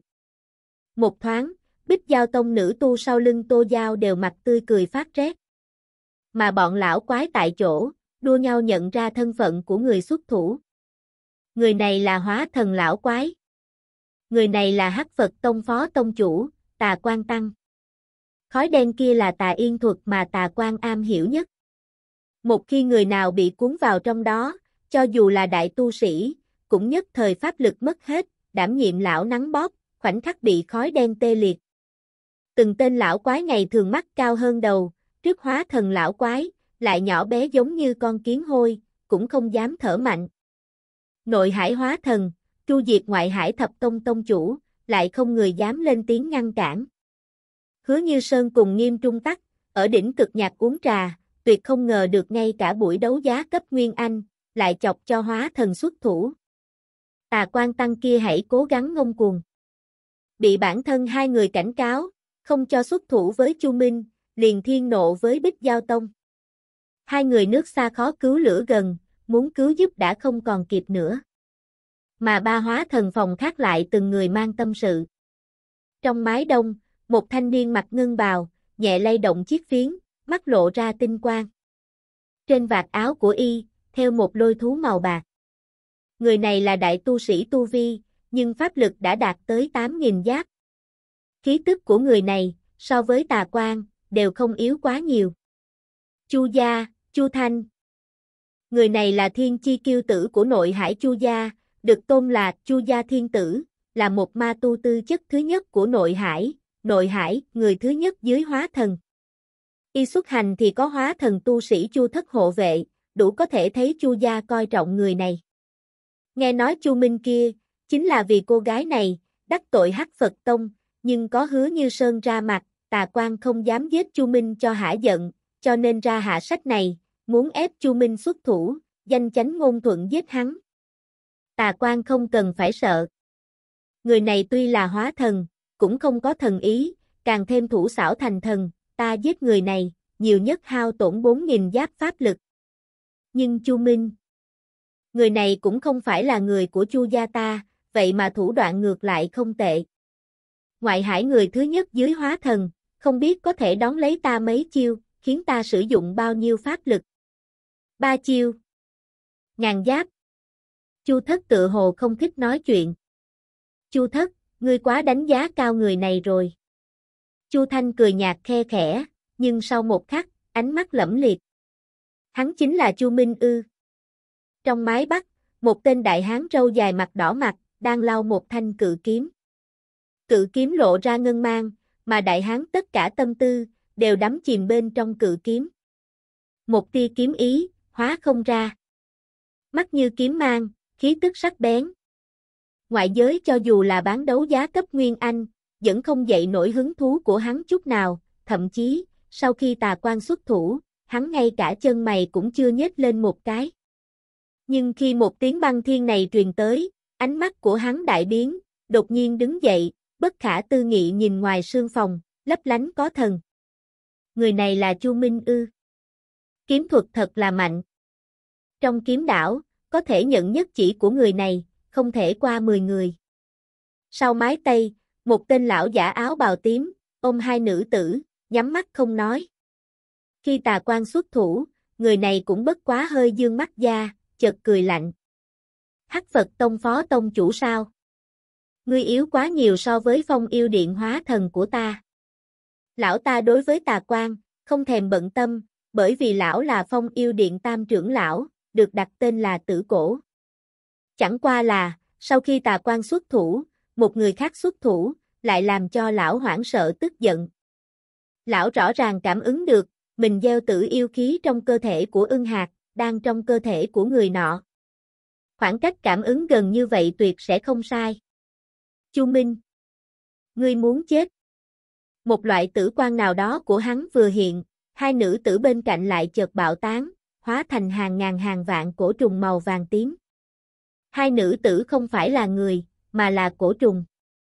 Loài trùng này được đặt tên là tử vệ, chớ nhìn nó nhỏ bé, một con cơ thể thành thục, đủ để cắn chết kim đan, trăm con nuốt nguyên anh, vạn con cắn hóa thần. Loài trùng này, tử cổ đạo nhân có một vạn bảy ngàn con, hóa thần tầm thường căn bản không nguyện cùng chúng tranh phong. Nhưng trong mắt tử cổ, mới vừa thoáng qua sát ý, kinh sắc, liền chợt lóe. Chu Minh này, chỉ Nguyên Anh hậu kỳ vì sao lợi hại như thế? Tà quan xuất thủ, tô giao nhất thời tuyệt vọng. Khói đen kia mờ ảo bay tới, tốc độ quá nhanh, nhanh đến mình không còn kịp cầm pháp bảo phản kháng nữa. Chẳng qua là mặc dù nàng cầm bảo, thì làm sao có thể? Nàng không ngăn được. Chỉ có điều khói đen tuy nhanh, nhưng một đạo thanh niên thân ảnh càng nhanh hơn so với khói đen kia. Hắn chỉ bụi quang chợt lóe, nửa hóa khói xanh, xuất hiện trước khói đen, mắt lộ hàng mang. Đỉnh lô của Chu Mổ, ngươi dám gia hại sao? Vỡ cho ta. Ninh Phàm năm ngón tay lộ ra ngọc sắc, bàn tay chộp một cái, một tia ma sơn ý cuốn ùa ra ngoài. Giờ khắc này, Ninh Phàm một thân ma khí tung hoành. Khói đen kia đủ để tê liệt thiên linh của đại tu sĩ bị hắn chọc một cái, hỏng mất. Hừ, ngươi xuất thủ. Như vậy bổn tọa giết ngươi, cho dù là hứa như sơn cũng không có lời gì để nói. Chết! Tà quan mắt lộ cười gằn, đang muốn xuất thủ, lão chờ phải chính Ninh Phàm xuất thủ cứu người, khi đó lão mới được giết chết người này. Nhưng Ninh Phàm xuất thủ nhanh hơn. Giờ khắc này, hắn giơ ngón tay lên, điểm liên tục hai chỉ. Nhất chỉ, toái nhạc. Nhị chỉ, băng thiên. Hoang hợp tiên đảo, vô số sơn nhạc bắt đầu sụp đổ. Chỉ lực mạnh mẽ, vén lên đỉnh bảo lâu của động thiên chi bảo, lộ ra thương thiên. Rõ ràng là ban ngày, vậy mà chân trời bóng tối, một vần mặt trời đen tự dưng treo lơ lửng ở trên bầu trời mênh mông. Khi ninh phàm sát cơ vừa động, hắc nhật cháy phừng. Nhật rơi, mây tan, trời sụp. Tà quan sắc mặt đại biến, sợ hãi vạn vẹo. Lão ta là hóa thần yếu nhất, nhưng công kích trước mắt, lại là một kích mạnh nhất có thể so với, trong hóa thần sơ kỳ. Ngay cả thạch binh đều cơ hồ chết dưới ngón tay đó, tà quan lão làm sao có thể địch. Nhất định phải trốn. Định. Ninh phàm dưới ba ngón tay điểm xuống, lần này cũng là định thân. Bụi tuyến dày đặc, gắt gao quấn quanh tà quan, lấy pháp lực hiện giờ của Ninh phàm, dư sức có thừa định trụ tà quan nửa khí tức. Đây, đây là pháp thuật gì? Tà quan sắc mặt đại biến, đây là pháp thuật gì có thể khiến cho Ninh Phàm Nguyên Anh hậu kỳ định trụ mình chứ? Ngươi là hóa thần yếu nhất, ta là Nguyên Anh mạnh nhất. Ngươi có thể chết rồi. Băng. Ninh Phàm nhất chỉ hắc mang, điểm ra một đạo kiếm khí màu vàng đen. Kiếm khí này, lần đầu tiên thi triển, còn chưa cách nào thành hình, nhưng lần này hiển nhiên thuần thục rất nhiều. Nhất chỉ đó chia ra đầu ngón tay, lại băng vỡ thành vô số hắc tuyến nhỏ như những sợi tóc. Nếu một lực đủ, thì có thể nhìn ra đỉnh nhọn của hắc tuyến là tiểu kiếm sắc bén đến mức tận cùng. Thật giống như một đạo cực quang, bị rút ra tản thành vô số quan ti. Thế nhưng quan ti, lúc gần tới trước người tà quan lại có khuynh hướng khép lại, bao lấy lão. Tà quan hóa thần yếu nhất, ngay cả huyền thiên linh bảo đều không dùng được, nên lão liều mạng, khạc ra một hớp hắc sa pháp bảo cấp huyền thiên tàn bảo, cố gắng đánh sơ sát hắc ti. Thế nhưng hắc sa, một khi chạm đến hắc ti, đua nhau vỡ nát. Giờ khắc này, mấy vạn dặm bầu trời quang đảng ở hoang hợp tiên đảo, toàn bộ trời sập, lộ ra hư không u ám khiến cho người ta da đầu tê dại. Nhất chỉ vỡ đi huyền thiên tàn bảo, lập tức thật giống như phụ cốt chi thư, chợt cuốn chợt xé tà quan, thân thể bị xé thành phấn vụn. Chẳng qua là lúc nhục thân tan nát, một đạo quan ảnh màu đen, liều mạng trọng thương, mạnh mẽ lao ra hắc ti phong tỏa, hộc máu không ngừng. Quan ảnh đó đột nhiên bấm quyết, hóa thành khói đen, na di ngang trời, đã ở ngoài mấy vạn dặm. Bóng đen đó to vào khoảng quả đấm, thật giống như Nguyên Anh, dáng ngoài cùng tà quan giống như đúc, nhưng hư ảo không thực thể. Đấy chính là Nguyên Thần. Nguyên Thần Na Di, tốc độ kia khiến Ninh Phàm thầm giật mình. Hắn lau đi máu đen nơi khóe miệng, thở dài nói. Để cho yêu nghiệt đó chạy rồi. Hóa thần tu sĩ quả nhiên không phải là ta có thể giết. An tĩnh, châm rơi có thể nghe. Bầu trời ngoại giới, từ từ vỡ vụn khép lại, nhưng chỗ vỡ tan của động thiên lâu lại không còn cách nào khép lại. Từng tên một ngoại hải lão quái vốn kiên kỵ Chu Minh, giờ phút này họ kiên kỵ Chu Minh càng lên cao hơn chưa từng có. Từng tên một nội hải lão quái vốn không kiên kỵ Chu Minh, lại thời khắc này đua nhau nhớ tên của hắn. Nhất là lầu các tầng thứ tư, hóa thần chi tu đua nhau tâm thần đại chấn. Nhất chỉ đó, chớ nói tà quan, ngay cả đổi làm bọn họ, cũng nhất định trọng thương. Chu Thanh nắm chặt quả đấm, đây cũng là Chu Minh mà y xem nhẹ sao. Nhất chỉ đó, há là y có thể đón lấy. Chu Minh này, làm gì là người thứ nhất dưới hóa thần, trong hóa thần sơ kỳ, có thể đón lấy nhất chỉ đó, lại có mấy người. Thêm vào đó, người này còn nói, đáng tiếc. Chẳng lẽ hắn hủy đi thân thể của tà quan vẫn chưa đủ, còn muốn ngay cả nguyên thần đều giết đi ư. Mình được xưng chu gia thiên tử, nhưng ở trước mặt người này, lại coi là cái gì? Nguyên Anh hậu kỳ chém hóa thần. Trước mắt quan hùng, Thủy chung nhớ lại ánh sáng của một kiếm kia. Hóa kiếm vi ti, không sai. Vô số hắc ti đó chính là kiếm ti.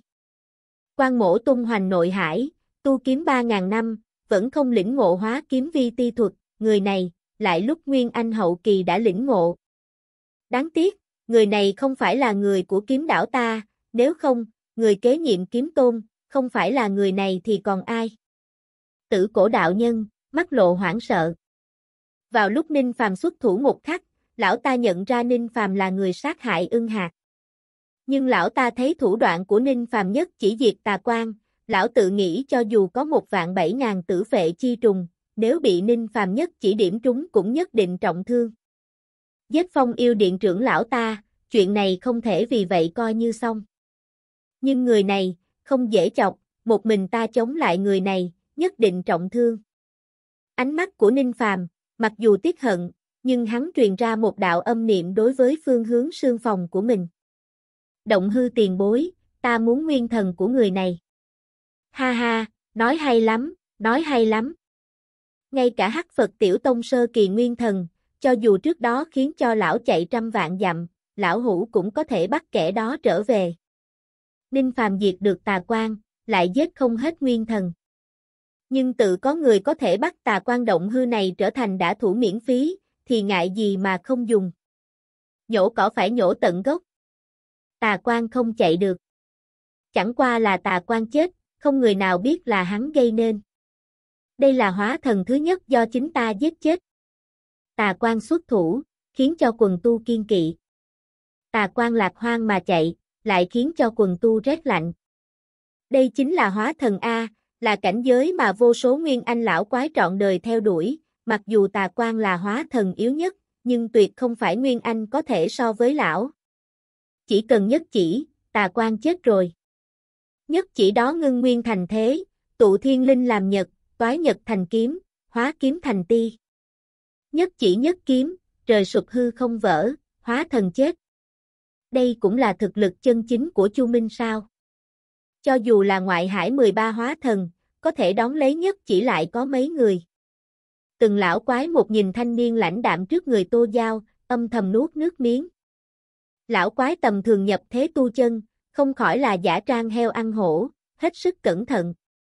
Nhưng Chu Minh này lại một đường kiêu kỳ mà đi. Nếu đổi thành những tu sĩ khác, mặc dù cùng tà quan tăng chống lại, chiêu thứ nhất nhiều là cũng thử dò xét, lá bài tẩy đều cuối cùng giấu mà không dùng. Vậy mà Chu Minh này, lại hồi thứ nhất liền vận dụng sát chiêu. Nhìn hắn như lỗ mãn, thực ra đạo xử thế của hắn cao minh nhiều xa so với chư lão quái giả trang heo ăn hổ. Nếu không có thực lực, đương nhiên phải thu liễm, nhưng thực lực đủ để xưng hùng ngoại hải, tung hoành nội hải thì cần gì phải ẩn giấu chứ. Nếu không phải hồi thứ nhất liền động sát chiêu, đợi tà quan nhận rõ thực lực mình, có đề phòng, khi đó giết sẽ còn dễ dàng sao. Ninh phàm tiên mạch đau nhất, nhất chỉ đó tự tổn không nhỏ. Nhưng ánh mắt của hắn dần dần yên tĩnh như dưới giếng nước. Ánh mắt của hắn, quét qua mái đông của tầng thứ tư, quét qua mái bắc, rốt cuộc dừng lại ở mái tây. Bên trong ba sương phòng, Chu Thanh, Chu Thất, Quan Hùng, Tử Cổ, tất cả sắc mặt phức tạp đi ra.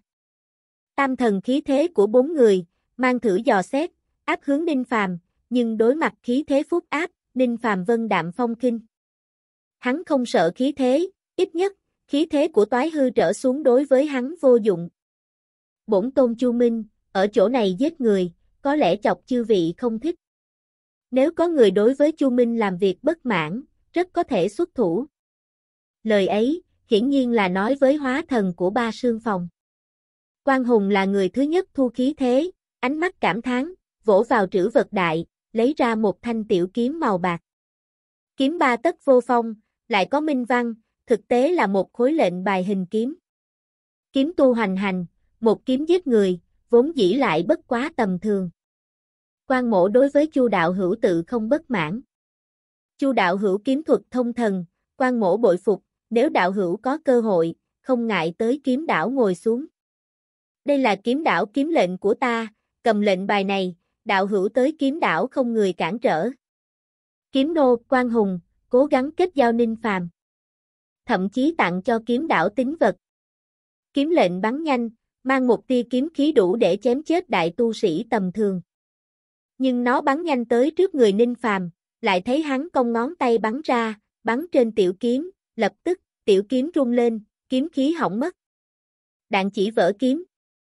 Người này, luyện thể cảnh giới thật là mạnh, sợ là có ngọc mệnh cảnh. Quan Hùng âm thầm khen ngợi. Kiếm khí kia tất nhiên thử dò xét thực lực của Ninh Phàm. Quan tiền bối khách khí rồi.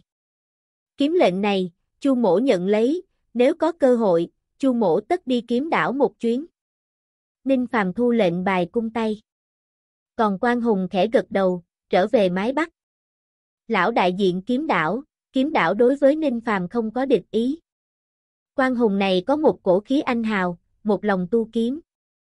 Người này kết hảo ta, có bảy phần thành ý, ba phần nhìn trúng kiếm chỉ thuật của ta. Như vậy, nếu ta có hóa thần tu vi, đi kiếm đảo một chuyến cũng không sao. Ánh mắt của Ninh Phàm rơi vào trên người Chu Thanh. Người này là người thứ hai thu hồi khí thế, mi tâm của y có nửa viên lôi tinh màu bạc, nhưng vẫn chưa hoàn toàn ngưng tụ. Người này tự hồ là thái cổ lôi mạch, nhưng lại tự như không phải. Giữa ánh mắt đó vừa chạm vào nhau, Chu Thanh ánh mắt ngưng trọng, kích thích mi tâm lôi tinh. Bán tinh lôi quang chợt lóe, ánh mắt của y như điện, bức thị Ninh Phàm. Y sớm nghe nói Ninh Phàm dường như có lôi tinh thần thông, nếu không phải như vậy, lấy cá tính cao ngạo của Chu Thanh, tuyệt đối sẽ không chú ý ngoại hải tu sĩ. Ta là Chu gia thiên tử, là Chu gia thiên tử người mạnh nhất trong vạn năm, dựa vào bán phế huyết mạch, cơ hồ trọng ngưng qua cổ lôi tinh. Người này cũng không phải là Chu gia tu sĩ, tuyệt đối không thể ngưng tụ lôi tinh. Chu Thanh ánh mắt như điện, nhưng ánh mắt của Ninh Phàm lại thật giống như tinh không. Ánh mắt như điện của y cùng Ninh Phàm mới vừa tiếp xúc, lại thấy trong mắt Ninh Phàm, huyết lôi chợt lóe, lập tức, đầu của Chu Thanh, thật giống như có một đạo huyết lôi nổ tung. Mà hai mắt chi điện của y tức thì hỏng mất, thần phục. Chu Thanh sắc mặt đại biến, lùi lại hai bước. Huyết lôi ở thức hải của y, dựa vào tu vi của mình, không cách nào bước ra. Chu thất. Dạ. Ngân bào lão giả có hóa thần sơ kỳ sau lưng, một bước tiến lên trước, bàn tay chống giữ sống lưng của Chu Thanh, mới đứng vững thế lui. Chỉ lực điện quang chợt lóe, mới vừa ép vỡ một đạo huyết lôi ở thức hải của Chu Thanh. Chẳng qua là giờ phút này, vô luận là Chu Thất hay Chu Thanh, trên mặt đều lộ ra vẻ mặt khó có thể tin tưởng. Hai người liếc mắt nhìn nhau, trong đầu họ nhất tề lật lên kinh đào hải lãng. Ninh Phàm có thể giết tà quan, Chu Thanh tuy kinh nhưng không sợ hãi, bởi vì lão cũng có thể giết. Ninh Phàm nhất chỉ mạnh mẽ, Chu Thanh tuy sợ nhưng không loạn. Người này mặc dù so với mình lợi hại, nhưng Chu Thanh vẫn có sự kiêu ngạo của mình. Nhưng đạo huyết lôi này, lại làm cho hỏng mất toàn bộ sự kiêu ngạo của Chu Thanh, thiên tử. Mình ngưng tụ nửa viên lôi tinh đã kiêu ngạo, Ninh Phàm trước mắt, ngưng tụ tất cả đều là hoàn chỉnh lôi tinh, tuyệt không sai. Ánh mắt tụ vào, song lôi chạm nhau, ngân lôi của mình hoàn toàn so ra kém huyết lôi của người này. Đó là lôi đình gì?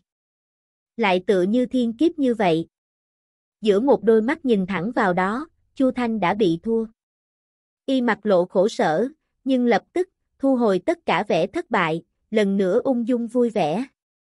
Ha ha, Chu đạo hữu nói đùa, Hắc Phật Tông chính là tông môn nhỏ như viên đạn, tà quan càng không đáng để nhắc tới, giết thì giết, với Chu gia ta có quan hệ gì đâu. Đạo hữu thủ đoạn cao minh, Chu Thanh tự thẹn không bằng, dưới hóa thần, nội hải ngoại hải, đạo hữu tất cả là người thứ nhất. Trên hóa thần, đạo hữu cũng là nhân vật nổi bật. Đây là Chu gia lôi hoàng lệnh của ta, nếu vào nội hải, đạo hữu cầm nó, có thể tới Chu gia ngồi xuống. Ha! Nội hải người thứ nhất dưới hóa thần, càng chịu thua Chu Minh sao? Ngoại hải tu sĩ còn chưa kinh ngạc, nhưng nội hải đại tu sĩ lại đua nhau động dung. Chu gia thiên tử, Chu Thanh, người này thiên tư trắc nhiên, tính cách càng thêm ngạo mạn, nhưng thủ đoạn càng thêm lợi hại. Dưới hóa thần, tổng cộng y đánh bại ba vị hóa thần sơ kỳ, trên ma giám bản, y cũng là nhân vật có thể đứng hàng vào trước trăm. Người này ngày thường cho dù là hóa thần sơ kỳ đều không bỏ vào trong mắt, nhưng đối với Chu Minh lại coi trọng có thừa. Như vậy tính ra, Chu Minh này với cử chỉ giết người, lại đạt được hảo cảm của kiếm đảo, Chu gia, hắn quả nhiên có lời rồi. Ninh Phàm nhận lấy lôi hoàng lệnh bay tới bình thường. Lệnh bài này cũng không có nhiều nhất cử thử dò xét, nên thử dò xét, đều là vào lúc một ánh mắt kia đụng chạm nhau rồi. Ninh Phàm nhìn lệnh bài này, thấy đó là một cái đồ đằng của ngân giác lôi thú rất cổ xưa. Ninh Phàm thu hồi lệnh bài, hắn cũng cung tay với Chu Thanh. Còn Chu Thanh mỉm cười gật đầu, cùng Chu Thất trở về sương phòng. Chu Thanh này là một nhân vật lôi đình bại vào tay ta, lại lập tức liền xóa sạch cái tâm bị bại, lấy lại ý chí chiến đấu. Người này nhất định là từ thấp kém mà lên, từ thảm hại kéo lên, trải qua thất bại, mới có lòng bách chiết bất khuất, vạn năm sau, vũ giới toái hư, có lẽ sẽ có tên của người này. Tuy nhiên người này giao hảo ta, chỉ có một phần thành ý, chính phần nhìn trúng lôi tinh huyết lôi thuật của ta. Trừ phi ta có thể chống lại thực lực của Chu Tôn, nếu không dễ dàng đi Chu gia, chỉ bị người giết chết đoạt lôi. Cuối cùng, ánh mắt của Ninh Phàm rơi vào trên người tử cổ đạo nhân. Chu mổ cùng phong yêu điện, tự hồ có chút đụng chạm, không biết tử cổ đạo hữu, ý muốn như thế nào. Trong mắt của tử cổ giấu một tia âm trầm, cười một tiếng ha ha. Đạo hữu nói đùa, chuyện của ưng hạt bổn tọa đã biết, hắn chính là nguyên anh hậu kỳ tu sĩ, đuổi giết đạo hữu, là hắn tự lấy đường chết. Chuyện lần này, coi như chưa xảy ra, coi như phong yêu điện ta đối với đạo hữu giao hảo ý, tuy nhiên đạo hữu nhớ lấy, lần sau, chớ có làm bị thương người của phong yêu điện ta nữa, nếu không, ha ha, đạo hữu nên hiểu. Tử cổ nói xong, lấy ra một khối lệnh bài màu tím, cong ngón tay bắn ra, đưa cho Ninh Phàm. Lệnh bài này là phong yêu điện yêu tôn lệnh, đạo hữu cầm nó, nếu tới phong yêu điện của ta, tất được dùng lễ thiết đãi. Tử mổ mong đợi, cùng đạo hữu gặp lại trong tông môn. Ninh Phàm nhận lấy lệnh bài, thần niệm tìm tòi, lập tức cười lạnh. Trong lệnh bài này, có dấu một đạo yêu ấn màu xám, dùng để theo dõi. Người gieo nó trong lệnh bài, tu vi không kém gì cự tôn, động hư, hơn phân nửa là phong yêu điện yêu tôn. Lệnh bài này được gọi là giao hảo, thực ra một khi Ninh Phàm mang nó, sẽ bị tử cổ nắm giữ hành tung, sau đó truy kích. Xem ra tử cổ này cũng không phải là theo như lời ngoài mặt đã nói, không quan tâm chuyện mình chém giết ưng hạt A. Yêu ấn màu tím của người này gieo trên lệnh bài, bị mình vội vã vào bên trong di thiên xá lợi, không cách nào cảm giác, cho nên người mượn tên kết hảo, lại đưa một lệnh bài dùng để theo dõi mình sao. Tử cổ người này tin đồn có một vạn bảy ngàn tử vệ chi trùng, trong hóa thần sơ kỳ không người muốn cùng lão ta là địch. Người này mặt ngoài giao hảo, thực ra vẫn đối với ta chứa lòng chém giết. Có lẽ lão cho rằng, ta theo dõi hết bộ phận ký ức của ưng hạt bị tử quan phong ấn, biết được một ít bí mật, cho nên không thể không giết ta. Ban đầu ta cũng không phá giải lực lượng của tử ấn, cũng không theo dõi đến phong yêu điện bí ẩn. Nhưng chuyện này, ngay cả ta giải thích với tử cổ, lão tất không tin, vẫn sẽ giết ta, cùng phong yêu điện chi thù, rốt cuộc khó có thể hóa giải. Tử cổ tặng lệnh bài, không chút nào thành ý, chỉ có sát ý, trừ phi đủ để diệt cả nhà phong yêu điện, nếu không, tuyệt đối không thể bước vào địa giới của họ. Ninh Phàm sắc mặt bất động, nhưng trong lòng cười lạnh, thu hồi yêu tôn lệnh, lại không nhìn tử cổ một cái, càng tuyệt không cung tay. Tử cổ sắc mặt cao lại, trong đầu âm thầm tức giận, nhưng thần sắc cũng không lộ một phần, nhìn thật sâu ninh phàm một cái, trở về sương phòng. Tiểu tử cuồng vọng, đợi lão phu kêu nhân mã đến, ngươi hẳn phải chết. Tử cổ trong đầu cười lạnh. Hắc Phật Tông hóa thần tà quan đã chết. Nội hải thất tôn, người của ba tôn, giao hảo cùng ninh phàm. Một màn này rơi vào trong mắt vô số lão quái, nhất thời hóa thành vẻ hoảng sợ. Ninh phàm không có hóa thần, thì có thể chém tà quan, thì có thể làm nội hải ba tôn thực lực giao hảo. Ninh phàm này vô cùng lợi hại. Một khi hắn vào hóa thần, chẳng phải là ngay cả hóa thần trung kỳ cũng có thể đánh một trận.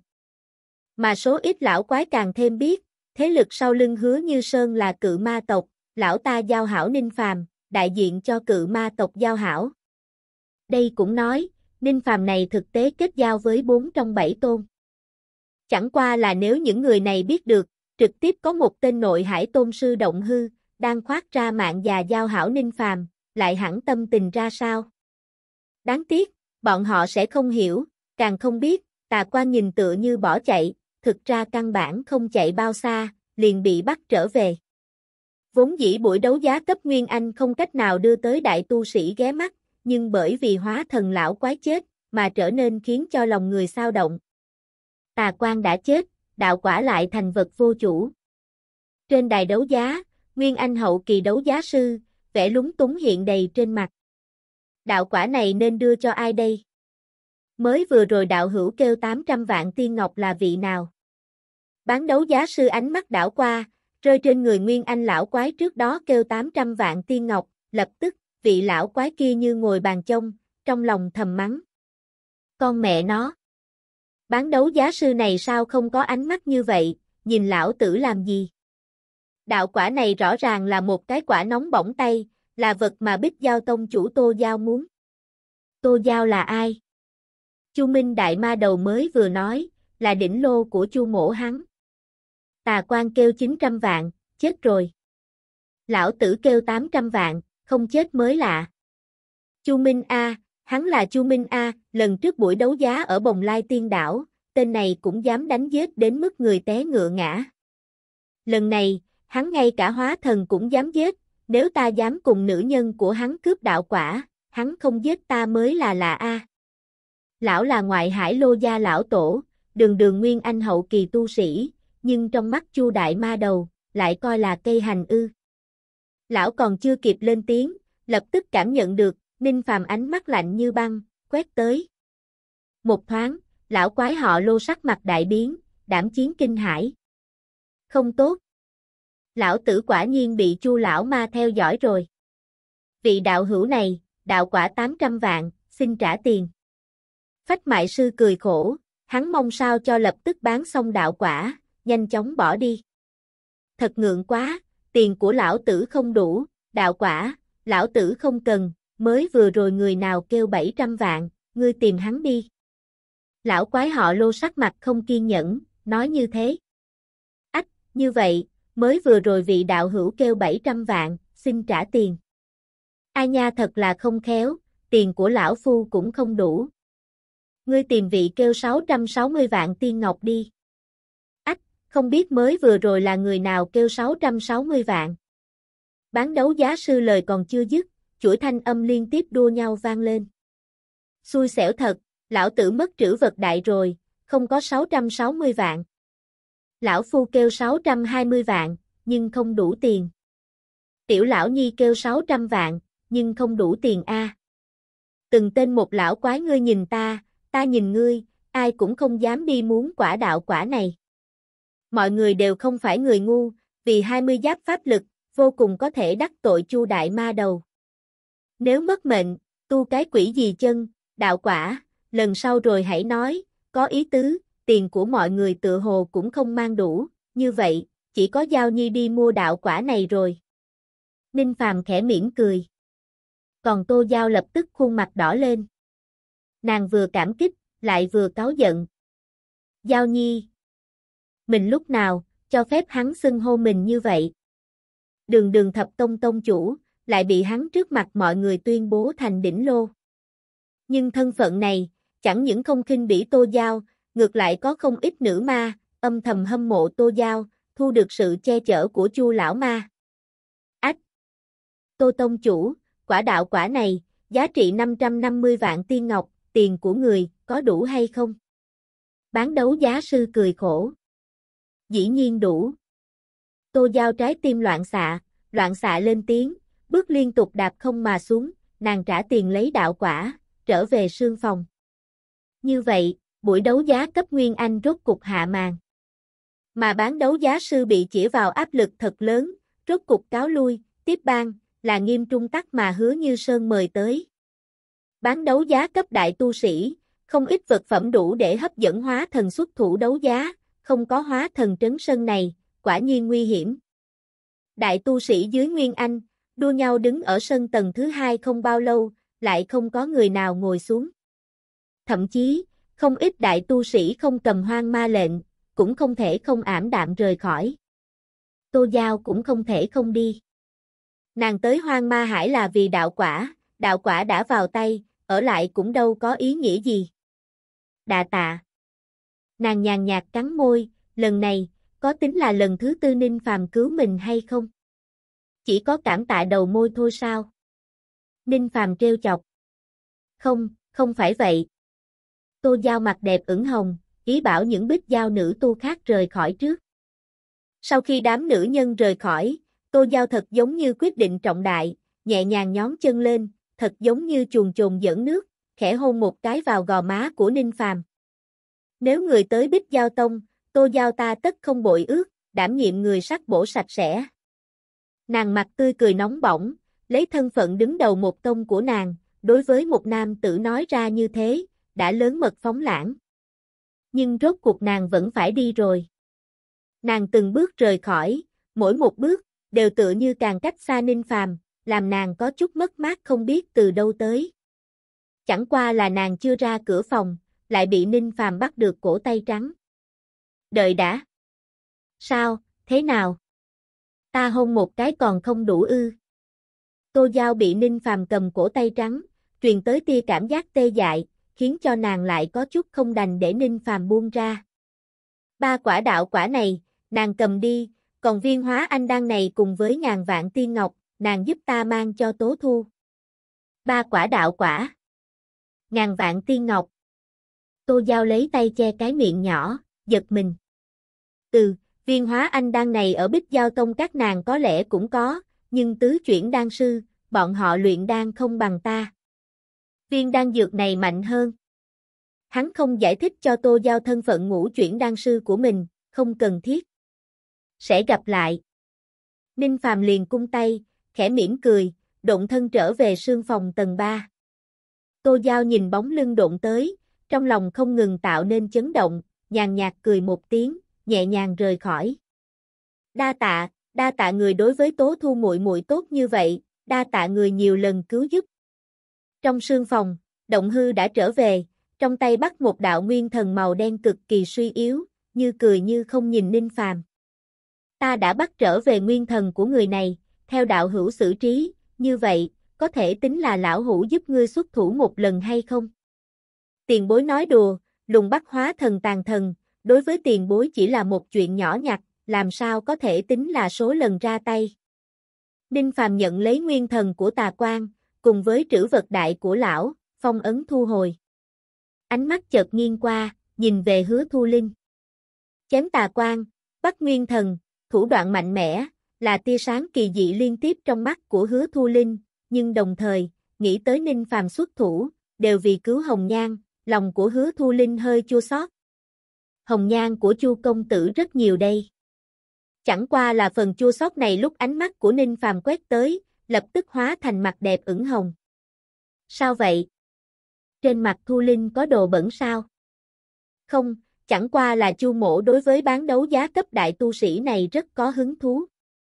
Nhưng cụ thể vật bán đấu giá, trừ hóa thần đỉnh lô, tất cả giữ bí mật không nói với bên ngoài, cho nên phải từ chỗ của Thu Linh tiểu thư hỏi một chút, lần này bán đấu giá có những thứ gì? Dĩ nhiên, Chu Mộ quan tâm nhất, vẫn là hóa thần đỉnh lô, không biết liên quan tới đỉnh lô, Thu Linh tiểu thư có biết chút gì hay không?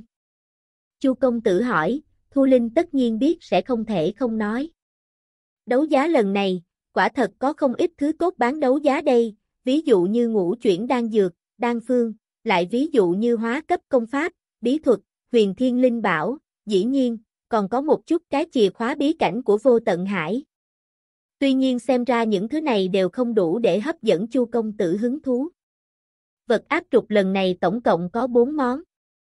Thứ nhất, là một khối huyền phẩm thần diệt thạch, dựa vào khối đá đó, hóa thần sơ kỳ lão quái có tỷ lệ nhất định ngưng tụ thần ý đây.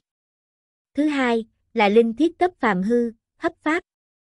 Phụ linh linh thiết này coi là cực phẩm linh thiết ít có trong phàm hư cấp đây.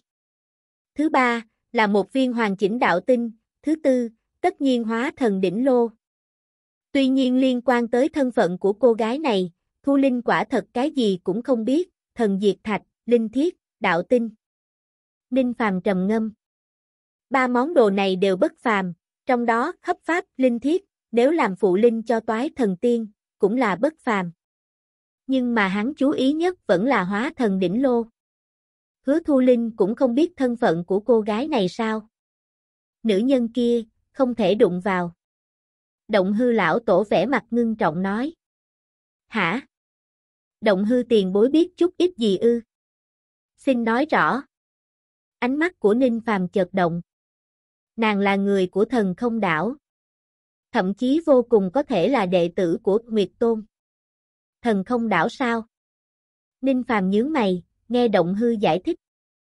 Thần không đảo là một trong thế lực của nội hải thất tôn, mà Nguyệt Tôn, càng thêm là người đứng đầu thất tôn, thực lực trên đám người cự tôn, thậm chí chỉ còn nửa bước bước vào luyện hư kỳ. Thần không đảo này, tồn với nội hải thần không hải vực. Thế nhưng mảnh hải vực đó, hư không chi lực hỗn loạn, ngay cả hóa thần tu sĩ, tùy tiện vào thần không hải, cũng cửu tử nhất sanh. Mà thần không đảo không màng thế sự, tông môn đệ tử cũng hiếm khi có tiếp xúc với ngoại giới. Nhưng chỉ có gần đây, ngoài thần không hải vực, bay ra vô số nữ thi. Mà một cổ trong đó chưa chết hẳn, chính là hóa thần sơ kỳ đỉnh lô của lần này. Nội hải thế lực đua nhau suy đoán, thần không đảo nhất định xảy ra biến cố lớn lao. Lời đồn đãi truyền phong phanh nhất là Nguyệt Tôn đột phá luyện hư thất bại, tẩu hỏa nhập ma, diệt hết bổn tông tông môn đệ tử. Bởi vì một ít nội hải cao thủ từng bị Nguyệt Tôn gieo niệm cấm đua nhau phát hiện, niệm cấm đã biến mất. Đấy rõ ràng chứng tỏ, Nguyệt Tôn vô cùng có thể chết. Nếu có thể lục soát lấy hóa thần chi nữ ký ức, thì có thể biết được sự biến đổi của thần không đảo, thậm chí có thể biết rõ nhập biển phường thị của thần không hải, nhập chủ thần không đảo, lấy được Nguyệt Tôn truyền thừa, người chết rồi, hơn phân nửa tông môn tích góp còn ở đó. Ngoài sáng bán ra là hóa thần đỉnh lô, trong tối lại là cạnh tranh thần không truyền thừa đó. Nhưng đỉnh lô này bị phong ấn ký ức, thần trí càng thêm mơ hồ, thật giống như ngu ngốc. Người bình thường căn bản không thể nào sư hồn, cũng không cách nào hỏi ra vài lời phân phớt. Ít nhất cự ma tộc sư hồn bí pháp, cũng không lục soát ra ký ức của cô gái này. Cự ma tộc từ bỏ dính vào chuyện này, động hư cũng không cách nào sư hồn thành công, chưa nếm thử sư hồn, chỉ có kiếm đảo, chu gia, phong yêu điện, hắc Phật tông kia, đơn thuần không biết tự lượng sức mình, mới đến đấu giá đỉnh lô. Bất luận thần không đảo đã xảy ra chuyện gì, đều là hung hiểm khó lường. Duy có thất tôn đại thế lực mới dám vào đảo dò xét, ít nhất động hư không đề nghị Ninh Phàm nhúng tay chuyện này. Mà mấu chốt vào đảo, chính là hóa thần đỉnh lô nọ. Nếu nói bán đấu giá sau cùng, cũng bất quá là ba tông hóa thần, lấy các tộc bí pháp, lục soát lấy ký ức của cô gái này. Nếu họ vẫn không cách nào lục soát lấy ký ức của nàng, thì cô gái này liền mất đi giá trị, chỉ coi như là một cổ đỉnh lô, nhưng nếu mất đi giá trị, chỉ tính riêng đỉnh lô không, thì không có người nguyện ý mua đỉnh lô này. Động hư biết thậm chí cặn kẽ hơn so với đám người hứa như sơn. Ninh Phàm nghe xong, trầm ngâm không nói. Như vậy, nếu ba tông hóa thần sư hồn thất bại, tự mình ngược lại có thể mua xuống đỉnh lô này rồi. Mình có oai trước đó chém tà quan, ba tông hóa thần sẽ không cùng mình tranh nhau. Mà mình có thiết ngôn thuật, có thể từ trong tay của đỉnh lô này biết được chút gì đây hay không? Bán đấu giá bắt đầu, kiện vật đấu giá thứ nhất là bốn vạn niên phân linh dược, vạn kiếm ngư ly tâm thảo. Loại cỏ này một khi trải qua luyện hóa, có thể phụ trợ đề thăng kiếm đạo tu vi, giá khởi đầu, 300 vạn tiên ngọc. Ánh mắt của Ninh Phàm chợt động, kiện vật đấu giá thứ nhất này là thứ tốt có thể vững chắc kiếm chỉ đệ nhị chỉ tu vi. 350 vạn. 400 vạn. 500 vạn. Vạn kiếm ly tâm thảo chỉ có hữu dụng với kiếm tu. Kiếm tu tuy không nhiều, nhưng lần này số lượng đại tu sĩ, ngoại hải 17, nội hải 74, trong đó quả nhiên có mấy người là kiếm tu, họ rất coi trọng vạn kiếm ly tâm thảo. Nhưng sau khi Ninh Phàm kêu lên 500 vạn, lập tức, toàn sân kinh ngạc không tiếng động. Dư uy vẫn còn đó. Ninh Phàm phiêu nhiên hạ xuống, trả tiền lấy linh thảo, trên mặt nghiêm trung tắc lại đóng ra mấy phần cười khổ. Loại linh thảo này nếu ở năm trước, bán hơn 700 vạn tiên ngọc đều không khó khăn. Nhưng sau khi Ninh Phàm lên tiếng, liền cho bụi lạc định, vật này do Ninh Phàm mua được. Kiếm đảo hóa thần quan hùng, đối với linh thảo này cũng hơi có động tâm. Tuy nhiên lão ta đối với Ninh Phàm chứa ý giao hảo, tự sẽ không vì một linh thảo, cùng Ninh Phàm không thích. Linh thảo này rốt cuộc rơi vào túi Ninh Phàm. Vật bán đấu giá sau đó, phần nhiều là vạn năm linh dược tầm thường, trừ vật cần dùng, Ninh Phàm cũng không xuất thủ. Chẳng qua nếu có ngũ chuyển đan phương, Ninh Phàm lại nhất nhất mua được. Tiên ngọc của bán đấu giá, tất cả phải nộp lên cự ma tộc, cho nên hứa như Sơn cũng không cách nào cho Ninh Phàm ưu đãi. Một phen xuống, Ninh Phàm tốn hao gần hai ước tiên ngọc, ngay cả tiền của tà quan đều tiêu hết, trong trữ vật đại, còn sót lại không tới 5.000 vạn. Cho nên đến bán đấu giá huyền thiên linh bảo, tàn bảo, hắn quả nhiên không để ý. Điều này cũng làm cho tất cả đại tu sĩ âm thầm thở vào nhẹ nhõm. Bọn họ cũng không biết Ninh Phàm là ngũ chuyển luyện đan sư, một người có thể ở 340 tuổi cốt linh, có chiến lực hóa thần đã nghịch thiên rồi, mà lại còn có ngũ phẩm đan thuật, làm sao có thể chứ? Đối với tài sản của Ninh Phàm, ngay cả những kẻ như Nghiêm Trung Tắc đều âm thầm chấn kinh. Cho dù là vô tận hải hóa thần, một người có thể có mấy ngàn vạn tiên ngọc trong người, đều tính là giàu có. Dù sao đường tu chân, đang dược pháp bảo, quá phí tiền tài, bày trận luyện khí, tiên ngọc hao tổn cũng lớn. Còn nếu đặt ở 800 tu quốc, hóa thần tầm thường cũng phải nghèo hơn hắn rồi. Không ít đại tu sĩ, đều khát vọng được một món huyền thiên tàn bảo, tất nhiên tán gia bại sản, cũng muốn mua một món. Ninh Phàm không tham dự đấu giá pháp bảo, tất nhiên là cục diện vui vẻ nhất mà bọn họ thấy. Đáng tiếc loại pháp bảo có phẩm cấp này, ngay cả đám người quan hùng, khi rảnh rỗi họ động tâm. Thiên tác tử, huyền thiên tàn bảo, giá khởi đầu, một ngàn vạn tiên ngọc. Hồng vân cổ kiếm, huyền thiên tàn bảo, giá khởi đầu một ngàn năm trăm vạn tiên ngọc. Lạc viết tháp. thiên vạn hồn hồn phiên. Vô số pháp bảo, kích thích từng trận tranh đoạt, mà Ninh Phàm Thủy chung không vì thế mà động lòng. Huyền Thiên Tàn Bảo, hắn có ba món, đủ dùng rồi. Sau pháp bảo là Linh Trang, Linh Thiết. Hoang Ma Hải Thịnh sản Linh Quán, Linh Thiết bất phàm. Địa huyền Linh Trang, hóa cấp Linh Thiết, đều có mấy món bán đấu giá. Khi bán đấu giá kiện vật áp trục thứ nhất, lúc Linh Thiết cấp phàm hư hấp pháp bán ra, ngay cả Chu Thanh đều động tâm. Nội hải Chu gia, am hiểu công anh bí thuật, y cũng có một pháp bảo tương tự Ninh Phàm Toái Thần Lôi Tiên, mặc dù uy lực không bá đạo như Lôi Tiên của Ninh Phàm có được. Vật này nếu phụ linh trên pháp bảo, Chu Thanh y, thủ đoạn không thể nghi ngờ tăng mấy thành nữa. Hấp pháp linh thiết, cực phẩm linh thiết hiếm có trong phàm hư linh thiết, nếu phụ linh trên pháp bảo, lúc công địch, có thể đã thương địch thủ hút pháp lực, với đánh nhau chết sống âm thầm hút lấy pháp lực của địch tu, giá khởi đầu, 2.000 vạn tiên ngọc, 2.000 một vạn. Ninh Phàm ra giá. Chu Thanh nhíu mí mắt một cái, chợt buông lỏng. Thiếu chủ, có ra giá hay không? Chu Thất hỏi. Cho hắn một mặt mũi. Chu Thanh không lộ ra vui hay giận. Phạm hư linh thiết, hóa thần tu sĩ đều muốn tranh đoạt, tất nhiên giá cả không rẻ. Nhưng lấy địa vị của Chu Thanh ở Chu gia, vẫn có cơ hội lấy được, không cần vì thế cùng Ninh Phàm giao ác. Sau khi bán đấu giá linh trang, là đan dược, tứ chuyển, ngũ chuyển đang dược, đương nhiên đưa đến tu sĩ đấu giá. Ninh Phàm tiền tài không nhiều, trừ Thiên Nguyên đan cùng Huyền Nguyên đan, hắn một mực không mua. Sau đan dược, kiện vật áp trục thứ hai, thần diệt thạch, khai mạc. Nghiêm Trung Tắc trong tay đang bưng một cái hộp ngọc, trong đó một khối đá tròn màu máu đỏ có văn lộ. Nó mới vừa lộ diện, lập tức dẫn tất cả đại tu sĩ chú ý. Thần diệt thạch chia thành thiên địa huyền hoàng tứ phẩm, vũ điện nguyên anh thần sử, có thể chịu ban cho hoàng phẩm thần diệt thạch. Một khối huyền phẩm thần diệt thạch này chỉ có vũ điện hóa thần tôn lão đạt được, giá khởi đầu là 3.000 vạn. Nhưng đại tu sĩ ngay cả hóa thần cũng không đột phá, tự nhiên sẽ không hao phí số tiền lớn để mua khối đá này. Cũng chỉ có vũ điện là cơ cấu tượng trưng cho sự khổng lồ đó, mới sẽ cam lòng cho thần sử cấp nguyên anh dùng thần diệt thạch. Ba vị hóa thần tầng 4, cũng là lão bối hóa thần, không cần đá kia. Khối đá cuối cùng do Chu Thanh mua xuống.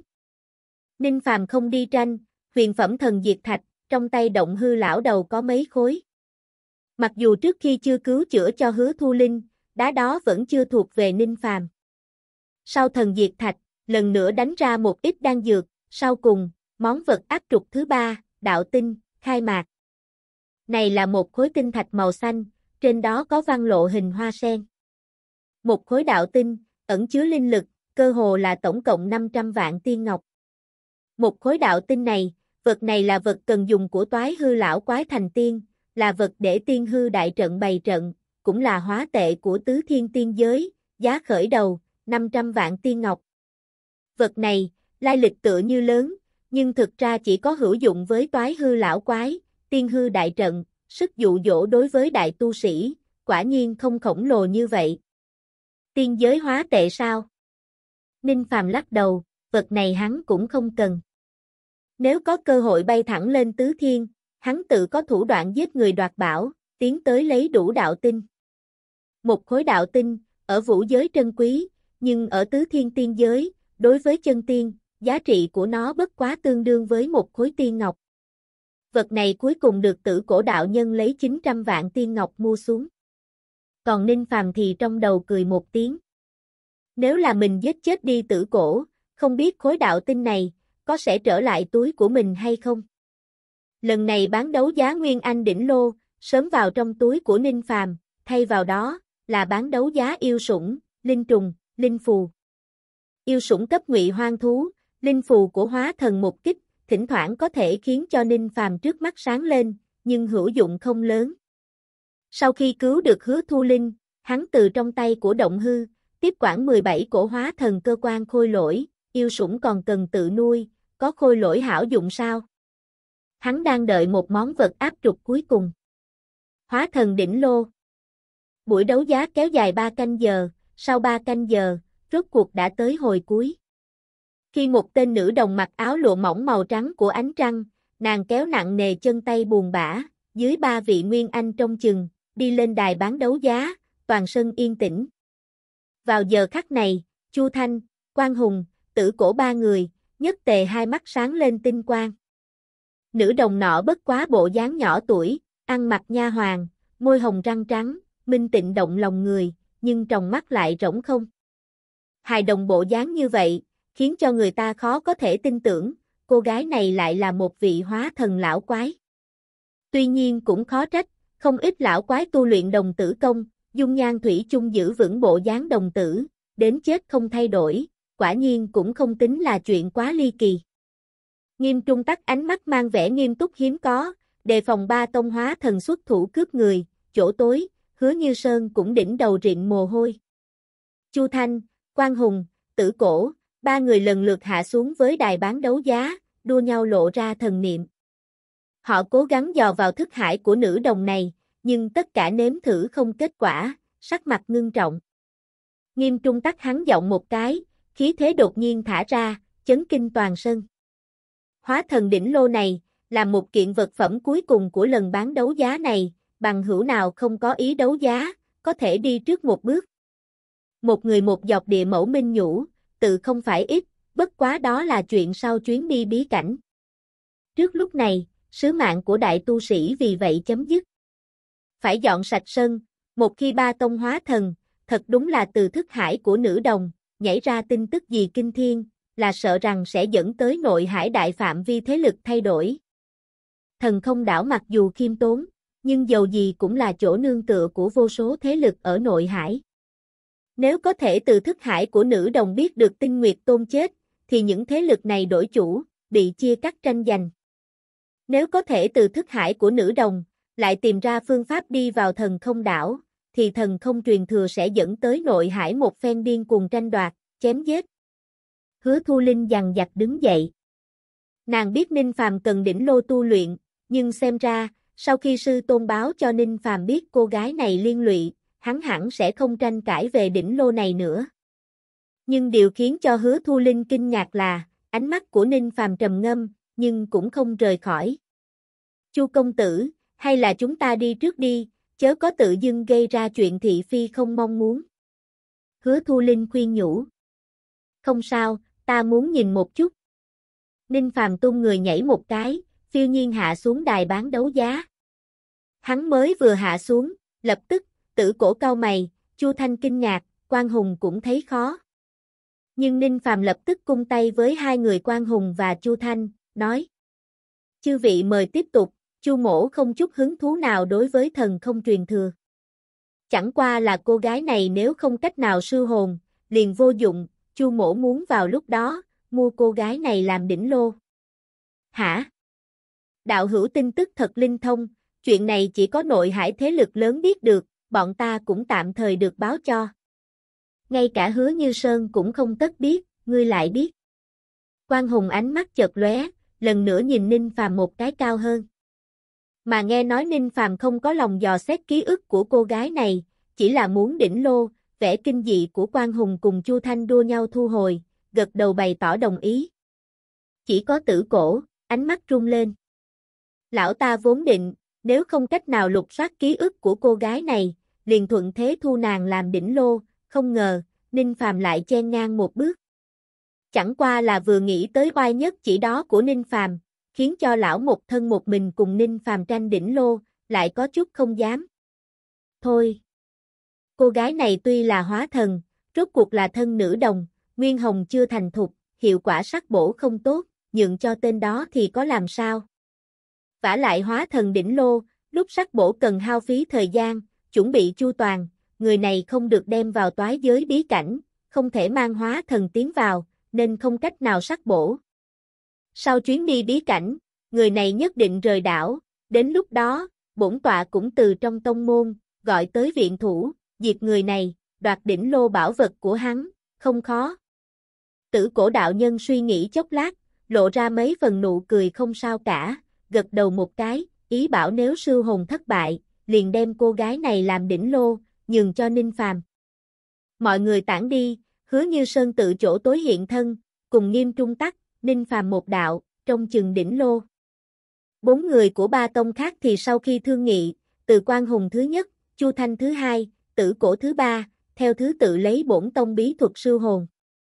Quan Hùng sử dụng sư hồn bí thuật, tương tự kiếm niệm thuật, nhưng cũng không phải là ngưng tụ kiếm thức kiếm niệm, mà là lấy kiếm khí bách niệm biến thành. Chu gia sư hồn thuật, là tố lôi diệt ức, lấy lôi hóa niệm, lấy niệm sư hồn. Tử cổ đạo nhân, là căn bản lấy tử trùng hóa niệm. Ba người theo thứ tự lấy thần niệm, cố gắng vào thiên linh của nữ đồng. Ba đạo thần niệm này cho dù thức hải của hóa thần hậu kỳ tu sĩ sợ là cũng có thể tìm tòi một hai. Ninh phàm âm thầm chắc lưỡi hít hà. Đây không hổ là chí tôn thế lực của nội hải ma đạo, sư hồn diệt ức thuật quả nhiên bất phàm, so với sư hồn thuật bình thường của mình mạnh hơn không biết gấp bao nhiêu lần.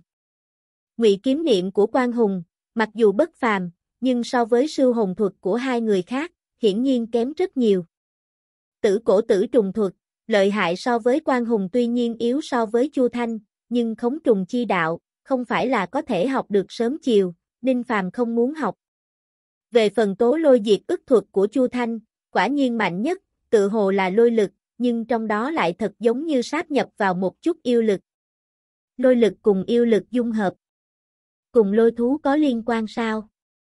Sự dung hợp giữa pháp thuật cùng yêu thuật, người sáng chế ra sư hồn thuật này, thiên tư kinh người. Ánh mắt của Ninh Phàm nóng bỏng, dựa vào lôi tinh huyết lôi của hắn, nếu có thể đạt được pháp quyết này, lúc lục soát thức hải ký ức của hóa thần không sợ phong ấn gì cả. Chỉ tiếc, cho dù là ba người sư hồn thuật bất phàm, nhưng hết lần này tới lần khác đều thất bại. Đấy cũng không có gì kỳ quái. Ngay cả động hư đều nói, ông ta âm thầm lục soát qua đồng hồn của cô gái này, nhưng ngay cả ông cũng đều thất bại, người tầm thường thì làm sao có thể. Quan Hùng thở dài lắc đầu. Tử cổ sắc mặt âm trầm. Còn Chu Thanh thì cười một tiếng ha ha, không mảy may lấy sư hồn thất bại phiền lòng, khoác đạt nói. Ta lục soát không được hồn của cô gái này, càng nói rõ, kịch biến ở thần không đảo có chút đáng sợ, không thể sư hồn, chưa chắc không là chuyện tốt. Bọn ta không vào thần không đảo, có lẽ miễn đi một kiếp, ngược lại là Chu Minh đạo huynh. Chu Thanh xoay chuyển ánh mắt, rơi vào trên người Ninh Phàm, khẽ mỉm cười. Chu Minh đạo huynh, tự hồ rất coi trọng tố lôi diệt ức thuật này. Nếu thường ngày, tiểu đệ tự sẽ đem thuật hai tay dâng lên, bất quá pháp thuật của tiểu đệ, cũng không hoàn chỉnh. Hơn nữa thuật này chuyện liên quan đến bí ẩn của tộc ta, thứ cho tiểu đệ không dám dâng tặng nó. Tuy nhiên, nếu đạo huynh nguyện ý tới chu gia ta một chuyến, có lẽ chu gia lão tổ của ta, sẽ có cặp mắt thiện cảm đối với đạo huynh truyền thụ cho thuật này cũng chưa biết chừng. Ha ha, đạo hữu nói đùa, chu mổ cuồng vọng như thế nào đi nữa cũng không dò xét chu gia bí thuật. Ninh Phàm đánh cá ha ha, nhưng trong đầu, hơi dâng lên một chút cổ quái. Chu Thanh đối với mình, tự hồ không còn địch ý. Nhưng đồng thời, tự hồ hết sức mời mình vào nội hải Chu gia, đây là vì sao? Thuật này tuy hay, nhưng Ninh Phàm còn chưa đến nỗi làm một tên sư hồn tiểu thuật, lỗ mãn tiến vào lãnh thổ của Chu gia. Thực lực chưa thành, hắn không muốn mạo hiểm, ai biết Chu gia mời mình, có thật là thiện ý hay không? Cự ma tộc cùng động hư lão đầu, thiện ý của hai người Ninh Phàm có thể thấy. Còn Chu gia ư? Hắn nhìn không thấu. Ai, như vậy, kiếm tôn chỉ phái nhiệm vụ, quan mổ coi như thất bại. Chúc mừng Chu đạo hữu đạt được cô gái này làm đỉnh lô, nếu có cơ hội, cần phải tới kiếm đảo một chuyến, cáo từ. Quan hùng cung tay, quanh thân hóa thành kiếm quan chợt lóe mà không thấy. Lão ta tung người một cái, sợ là đã ở ngoài vạn dặm. Thuật này cũng không phải là na di, chính là kiếm tu độc hữu, kiếm thuấn thuật, dựa vào thuật này, kiếm tu độn tốc cùng cấp vô địch. Chu Thanh cũng khẽ gật đầu với Ninh Phàm, lúc y xoay người, lại cùng lão giả sau lưng truyền âm nói. Người này lòng cảnh giác không nhẹ, thôi, khoảng cách lôi hoàng chi mộ mở ra, vẫn còn không tới vài năm. Nói tóm lại, người này vì danh ngạch vào mộ là bên ngoài thất tôn, cuối cùng sẽ cầu xin đến trên đầu Chu gia ta. Chu thất, chúng ta đi. Dạ. Lão giả đáp lời một tiếng, vung tay lên, hóa thành khói màu kim chợt cuốn thiếu chủ, phiêu nhiên rời khỏi. Hóa thần Na Di, cùng Thuấn Di bất đồng, nhưng dễ dàng mang vô số người độn hành. Cuối cùng chỉ còn dư một mình tử cổ. Ánh mắt của lão ta thèm thuồng thổi qua trên người nữ đồng, rốt cuộc dời ánh mắt đi, bị tiếu nhục bất tiếu đối với Ninh Phàm liền cung tay, hóa thành làn khói tím rời khỏi. Người này rời đi chính là trở về nội hải, tìm trợ thủ, giết Ninh Phàm. Sau khi mọi người rời khỏi, hứa như Sơn cùng nghiêm trung tắc mới thở vào nhẹ nhõm. Ánh mắt của hai người rơi vào trên người Ninh Phàm, rõ ràng mang có vẻ kính sợ. Nhất chỉ giết chết tà quan, hai người cứng rắn gặp phải, không chết cũng bị thương. Chu đạo hữu, ẩn giấu thật sâu. Nghiêm mổ tự thẹn không thể bằng. Nghiêm trung tắc hiển nhiên cho rằng, khi Ninh Phàm đột phá ngọc mệnh, tư thái khổ sở đón lấy ngũ hợp chi trưởng của mình vẫn có ẩn giấu rồi. Thiết tưởng Ninh Phàm khi đó thi triển thuật này, nghiêm trung tắc nhất định tính mệnh có nguy hiểm. Lão ta trong đầu thầm nói, khó trách hứa như Sơn khen nhiều người này, trong vòng 10 trượng hóa thần hung hiểm, thì ra hẳn là như vậy. Lão đã nghĩ lệch rồi. Hứa như Sơn nhìn Ninh Phàm, một bộ bộ dáng nhìn không thấu. Hóa thần đỉnh lô, xuất từ thần không đảo, chuyện này hứa như Sơn lão còn thật không biết, Ninh Phàm lại biết. Lão càng phát giác, mình nhìn không thấu Ninh Phàm rồi. Người này, chính là người ngang hàng cự tôn.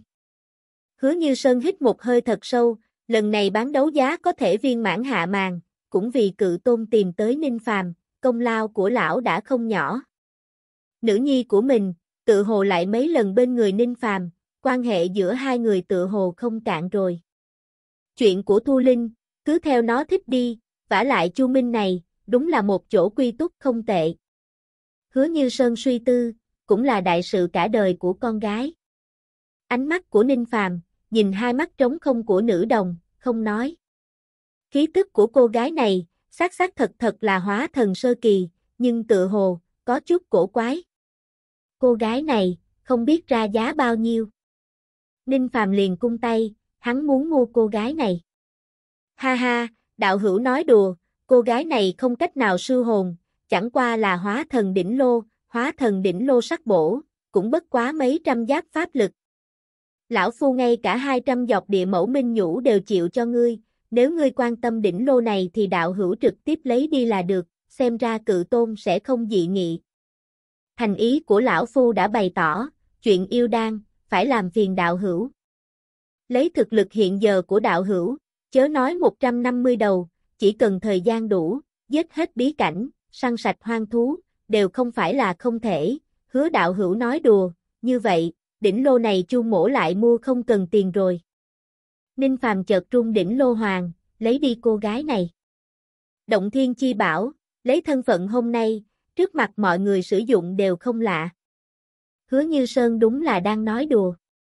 Lão ta nói đủ thời gian, ít thì mấy năm, lâu thì mấy chục năm, cũng không cho là kỳ hạn năm tháng ngắn ngủi, Ninh Phàm có thể diệt hết yêu thú trong bí cảnh, nhưng 150 đầu, dưới sự liều mạng hẳn không khó.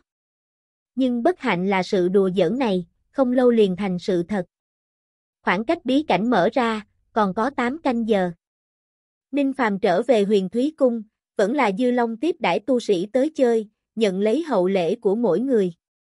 Về phần Ninh Phàm, thì dẫn nữ thi như con sâu bám theo đuôi đó cùng độn vào nguyên giao giới.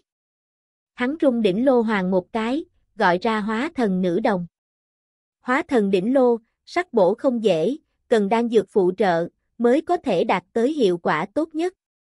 Ít nhất đan dược ấy, trước mắt Ninh Phàm không có.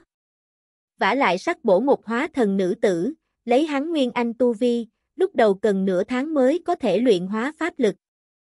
Lần này gọi ra nữ đồng, cũng không phải là sắc bổ, mà là Ninh Phàm muốn theo dõi một cái ký ức của cô gái này.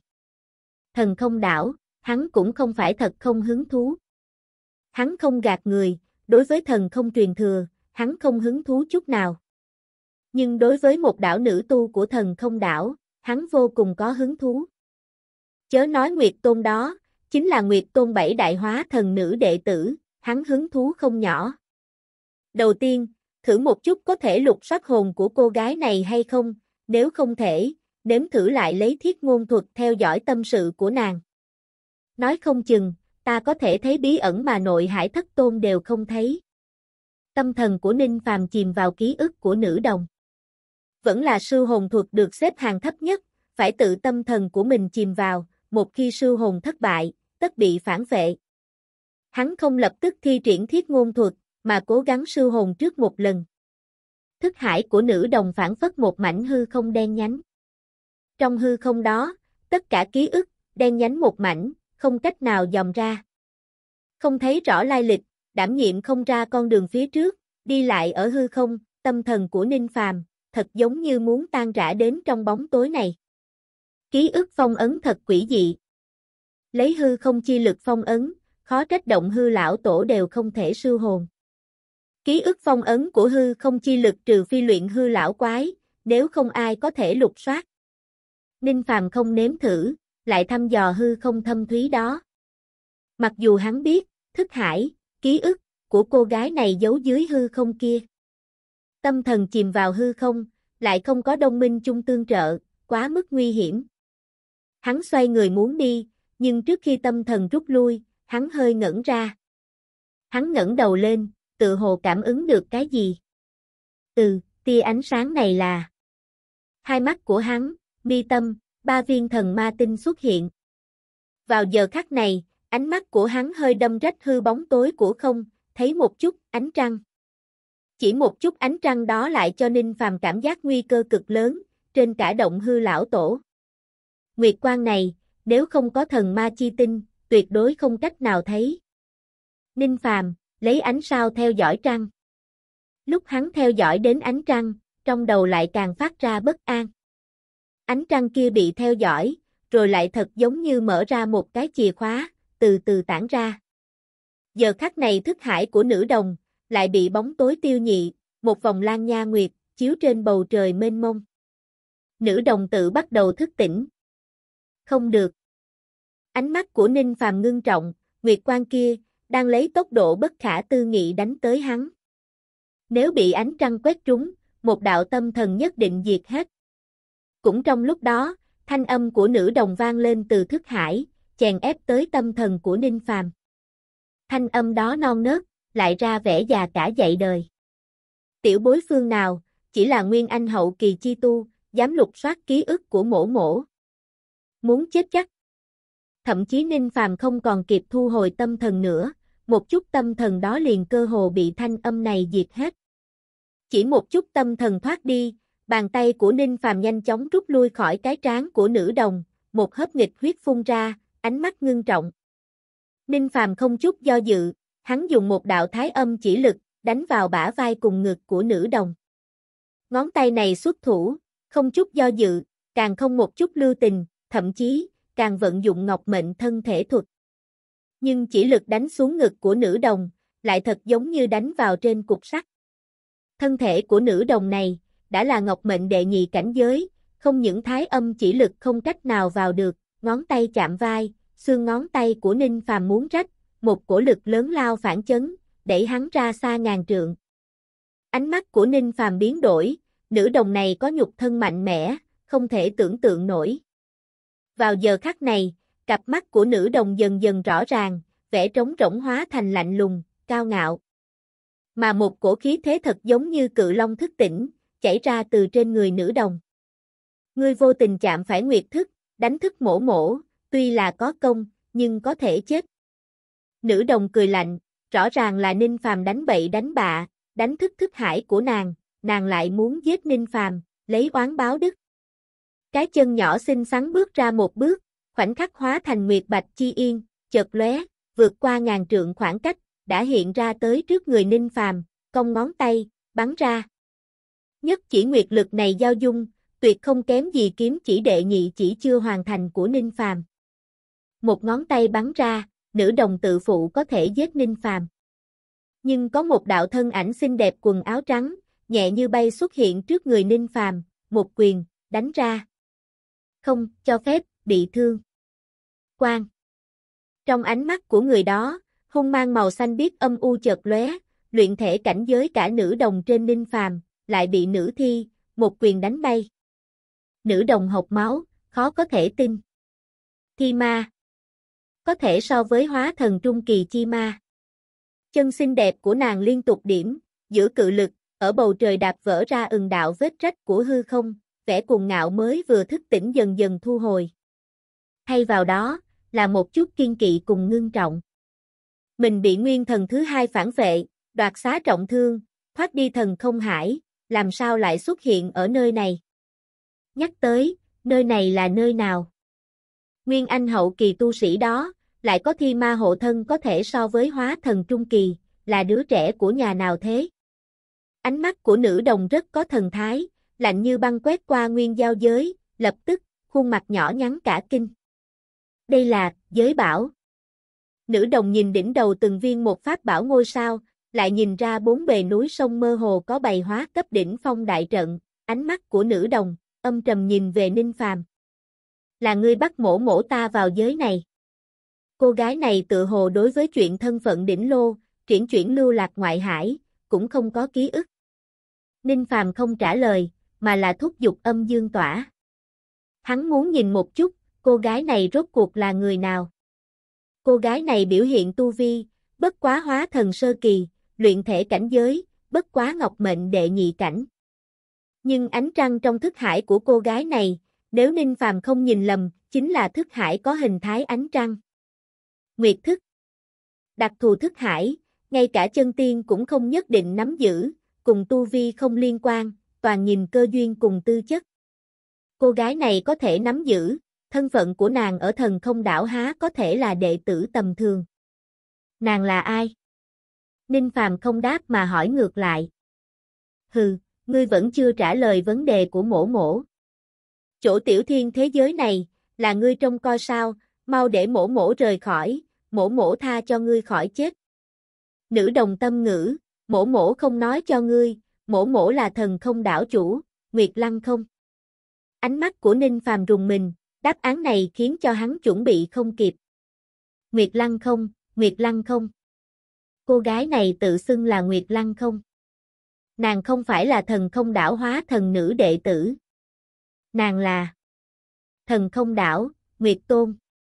Nàng là cường giả nhất của nội hải thất tôn. Nửa bước tiến vào luyện hư kỳ cao thủ. Một cổ hóa thần đỉnh lô thứ nhất mà mình lấy được là nội hải cường giả nhất. Thì ra nàng là Nguyệt Lăng không? Bất quá từ bây giờ, nàng không còn là thần không đảo chủ, mà là đỉnh lô của Ninh Phàm ta. Ừ. Sao ngươi biết thân phận ta? Nữ đồng tất nhiên kinh hãi. Nàng bị nguyên thần thứ hai phản vệ đoạt xá, vốn hẳn phải chết, nhưng nàng tu luyện công pháp, Nguyệt Luân Thuật, cực kỳ đặc thù. Vào một khắc bỏ mình, lấy ánh trăng luân hồi, nguyên thần rời thân thể, trọng tố thân thể, chạy ra khỏi thần không hải. Như vậy, mặc dù đảm bảo được một mạng, nhưng tu vi cũng khó có thể phục hồi. Thậm chí, nàng vốn có pháp lực của nửa bước luyện hư, rơi đến hóa thần sơ kỳ. Bộ phận pháp lực dư thừa này, hóa thành ánh trăng, phong ấn với trong cơ thể, một khi bộc phát, nàng thậm chí tùy thời có lo lắng bị mất mạng. Một cổ thân thể này bất quá là bộ dáng của Nguyệt Lăng không lúc 8 tuổi, trừ phi tu vi khôi phục, nếu không, nàng vẫn là chưa trưởng thành. Bộ dáng kia, theo lý mà nói, trong thiên hạ cũng không người nào biết, thanh niên có nguyên anh hậu kỳ trước mắt, lại một miệng nói ra thân phận mình. Người này, làm sao biết chứ? vả lại tiểu tử này cuồng vọng, còn nói, mình là đỉnh lô của hắn. Chuyện nực cười. Trong vô tận hải, ai dám khiến cho nội hải đệ nhất cao thủ Nguyệt Lăng không làm đỉnh lô, không sợ lúc sắc bổ, chết bởi giường hẹp sao? Ngươi dám sắc bổ mổ mổ, mổ mổ muốn mạng của ngươi. Nói đi, ngươi là ai, vì sao bắt mổ mổ? Nếu câu trả lời của ngươi khiến cho mổ mổ hài lòng, mổ mổ liền mở một góc lưới, tha cho ngươi một cái mạng. Thân vùi lấp vào địch thủ, chính là nữ đồng có cá tính coi trời bằng vung, đều không dùng lời nói nhu hòa mấy phần. Chẳng qua là thanh âm non nớt này rơi vào trong tai Ninh Phàm lại hóa thành một đạo cười lạnh. Bởi vì Ninh Phàm nghe được tiếng nói trong lòng của nữ đồng. Nữ đồng tự nhủ trong lòng, hừ. Trước hết cứ giả bộ chịu phục, chờ cho đứng vững ở giới này, tiểu thiên thế giới này dĩ nhiên gia cố, cho dù là ta bị thu vào trong đó đều chạy không thoát. Đợi rời khỏi giới bảo này, ta sẽ giết chết tiểu tử kia. Như vậy, vô tận hải không người biết, Nguyệt Lăng không ta chưa chết. Nguyên thần thứ hai nhất định không biết. Ta lần nữa có cơ hội đoạt lại thần không đảo, vẫn phải có. Chẳng qua là trước lúc này, trước hết tìm một tên nam tu đỉnh lô, sau khi sắc bổ, đem pháp lực dư thừa tuyên tiết ra bên ngoài cơ thể. Nam tu đó không thể chịu đựng pháp lực của ta, hẳn phải chết, chẳng qua là Nguyệt Lăng không ta giữ 4.000 năm thân hoàng bích, cũng phải vì vậy tống tán, hả? Ta thả nàng, nàng lại ở ngoại giới, giết ta sao? Nguyên thần thứ hai là cái gì? Cái, cái gì? Ngươi lại biết độc tâm thuật sao? Sao biết trong lòng suy nghĩ của ta? Nguyệt Lăng không khuôn mặt nhỏ nhắn thất sắc, pháp thuật có thể theo dõi tâm sự của người khác, nàng lần đầu tiên thấy. Ta tên là Ninh Phàm, dùng tên giả Chu Minh, Nguyệt Lăng không nàng là đỉnh lô của ta. Ta nghe tiếng lòng của nàng, tự hồ cần tìm một nam tu sắc bổ, tuyên tiết pháp lực dư thừa, vừa đúng dịp, Ninh Mỗ nhân đối với tu vi của nàng, rất cảm thấy hứng thú. Lấy sắc bổ thuật của Ninh Mỗ, nhất định có thể khiến cho nàng hài lòng, trước lúc này, nàng hãy suy nghĩ thật kỹ, ngươi đúng thật là biết độc tâm thuật. Nữ đồng khuôn mặt nhỏ nhắn đỏ trắng không chừng, nổi giận đến muốn giết người cho hả giận. Giỏi cho một một nguyên anh hậu kỳ tu sĩ gan lớn bằng trời, gọi là ninh phàm sao, lại dám đem sắc tâm, đánh tới trên người Nguyệt Lăng không ta. Nhưng đâu có ngờ rằng, lấy cục diện quẩn bách của nàng hiện giờ, tìm một nam tu, dốc hết đi pháp lực tán loạn để tự bảo vệ mình mới chính là cử chỉ sáng suốt. Nhưng nếu để cho nàng thật sự chịu khuất tất nhún nhường trước người khác, như chuyện làm đỉnh lô chẳng hạn, thì sự tự ái của nàng không cho phép. Bốn ngàn năm đường tu chân, nàng giết người như ngué, ba chữ Nguyệt Lăng không, ở nội hải cơ hồ là cục diện nghe tiếng phát rét. Ngay cả nội hải sáu tôn khác, cũng không dám kinh bạc một câu đối với nàng. Chẳng qua là, nữ đồng chợt dâng lên một loại ảo giác. Thanh niên trước mắt, tuy chỉ có nguyên anh hậu kỳ tu vi, nhưng thật đúng là có thể, sắc bổ mình. Cho dù là, dùng sức mạnh. Chẳng qua là dùng sức mạnh không khỏi quả giảm bớt nhiều hiệu quả sắc bổ, cho nên người này, mới có thể cho mình cơ hội suy tính. Không nói đại trận nơi đây, chỉ nói thi ma kia, lấy thực lực hiện giờ của Nguyệt Lăng không cũng khó thủ thắng. Ngươi nếu dám tiếp độc mổ mổ, mổ mổ nhất định giết sạch toàn tộc của ngươi. Nữ đồng nâng lên khuôn mặt nhỏ nhắn, có một cổ khí chất cao cao tại thượng. Nàng tự hồ vẫn chưa rõ tình cảnh, nguy hiểm của nàng. Ninh Phàm lấy ra một ngọc giản in xuống chuyện bán đấu giá, vứt cho nữ đồng. Tâm niệm chợt động, hắn câu động đại trận, đem nữ đồng phong vào trong trận. Như vậy, hắn mới dẫn nữ thi rời khỏi nguyên giao giới. Nữ đồng nhận lấy ngọc giảng, vừa xem nội dung bên trong đó, lập tức trên khuôn mặt nhỏ nhắn lãnh nhược sương hàng. Lớn, lớn mật. Sáu tôn khác lại dám, lại dám, lại dám đem ta làm đỉnh lô mà bán. Lại dám thay phiên lục soát ký ức của ta. Muốn chết sao? Nữ đồng từ từ thu hồi tức giận, nàng lập tức ý thức được một vấn đề rất nghiêm trọng. Mình hôm nay khôi phục thần trí, nếu rời khỏi nguyên giao giới, nhất định bị thế lực của sáu tôn bắt được, sư hồn, tra hỏi. Mà thân phận Nguyệt Lăng không của mình, một khi bại lộ cho sáu tôn, sợ rằng mấy cừu gia trong sáu tôn, sẽ rất vui lòng giết chết mình.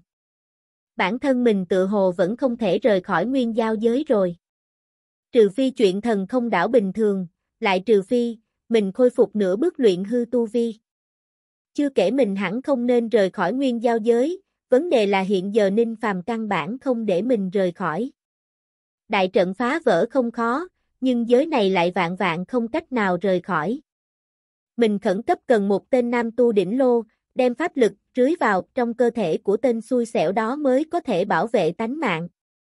Nếu không thể rời khỏi, do không có nam tu, trừ giới chủ ninh phàm có thể vào giới này, sợ là không người nào có thể cùng mình hợp thể song tu.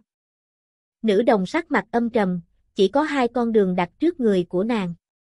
Một là chết, hai là bị ninh phàm sắc bổ. Ghê tởm. Nguyệt Lăng không ta tung hoành 4.000 năm, lại luân lạc tới mức không không thể không cùng một nam tử song tu. Sao có thể như thế này? Trong huyền thúy cung, bên trong mái hiên, Ninh Phàm cùng nữ thi hiện ra thân hình. Nữ thi một bộ dáng nhàn nhạt, nàng không chút hứng thú nào với Nguyệt Lăng không. Nhưng Ninh Phàm lại lộ ra thần sắc âm tình bất định. Không ngờ mình đánh bậy đánh bạ, lại đánh thức ký ức của cô gái này, càng không ngờ hơn, cô gái này hẳn là người đứng đầu trong nội hải thất tôn, thần không đảo chủ Nguyệt Lăng không. Như vậy, sắc bổ nàng, sẽ có vô số phiền toái, phá sự phòng ngự thân thể của nàng, gieo thái âm chỉ lực, có chút khó khăn. Thêm vào đó, cô gái này thân là nửa bước luyện hư chi tu, tuy nói cảnh giới vẫn lạc, một khi ép mạnh, có lẽ có biện pháp tạm thời khôi phục một hai thực lực, đem ta giết chết. Muốn sát bổ nàng chỉ có thể khiến nàng khuất phục. Thôi, cô gái này không thuộc về ta sát bổ, là hẳn phải chết. Lấy cá tính hung ác quả quyết của cô gái này, hẳn sẽ không vì trong sạch mà lựa chọn tử vong. Cô gái này, sau chuyến đi toái giới bí cảnh rồi hãy xử lý. Nếu ta có thể đề thăng thực lực trong bí cảnh, đến lúc đó, dù cho cô gái này không theo ta, cũng không phải nàng có thể quyết định. Nàng, cho dù là cô gái của nội hải chí tôn vẫn là đỉnh lô của Ninh Phàm ta. vả lại một khi thu phục cô gái này, tất cả nữ tu của thần không đảo dưới quyền nàng đều thành đỉnh lô của ta. Cô gái này dường vẫn có không ít hóa thần đệ tử. Chẳng qua là thần không đảo, tự hồ xảy ra biến cố không nhỏ, nguyên thần thứ hai phản vệ sao?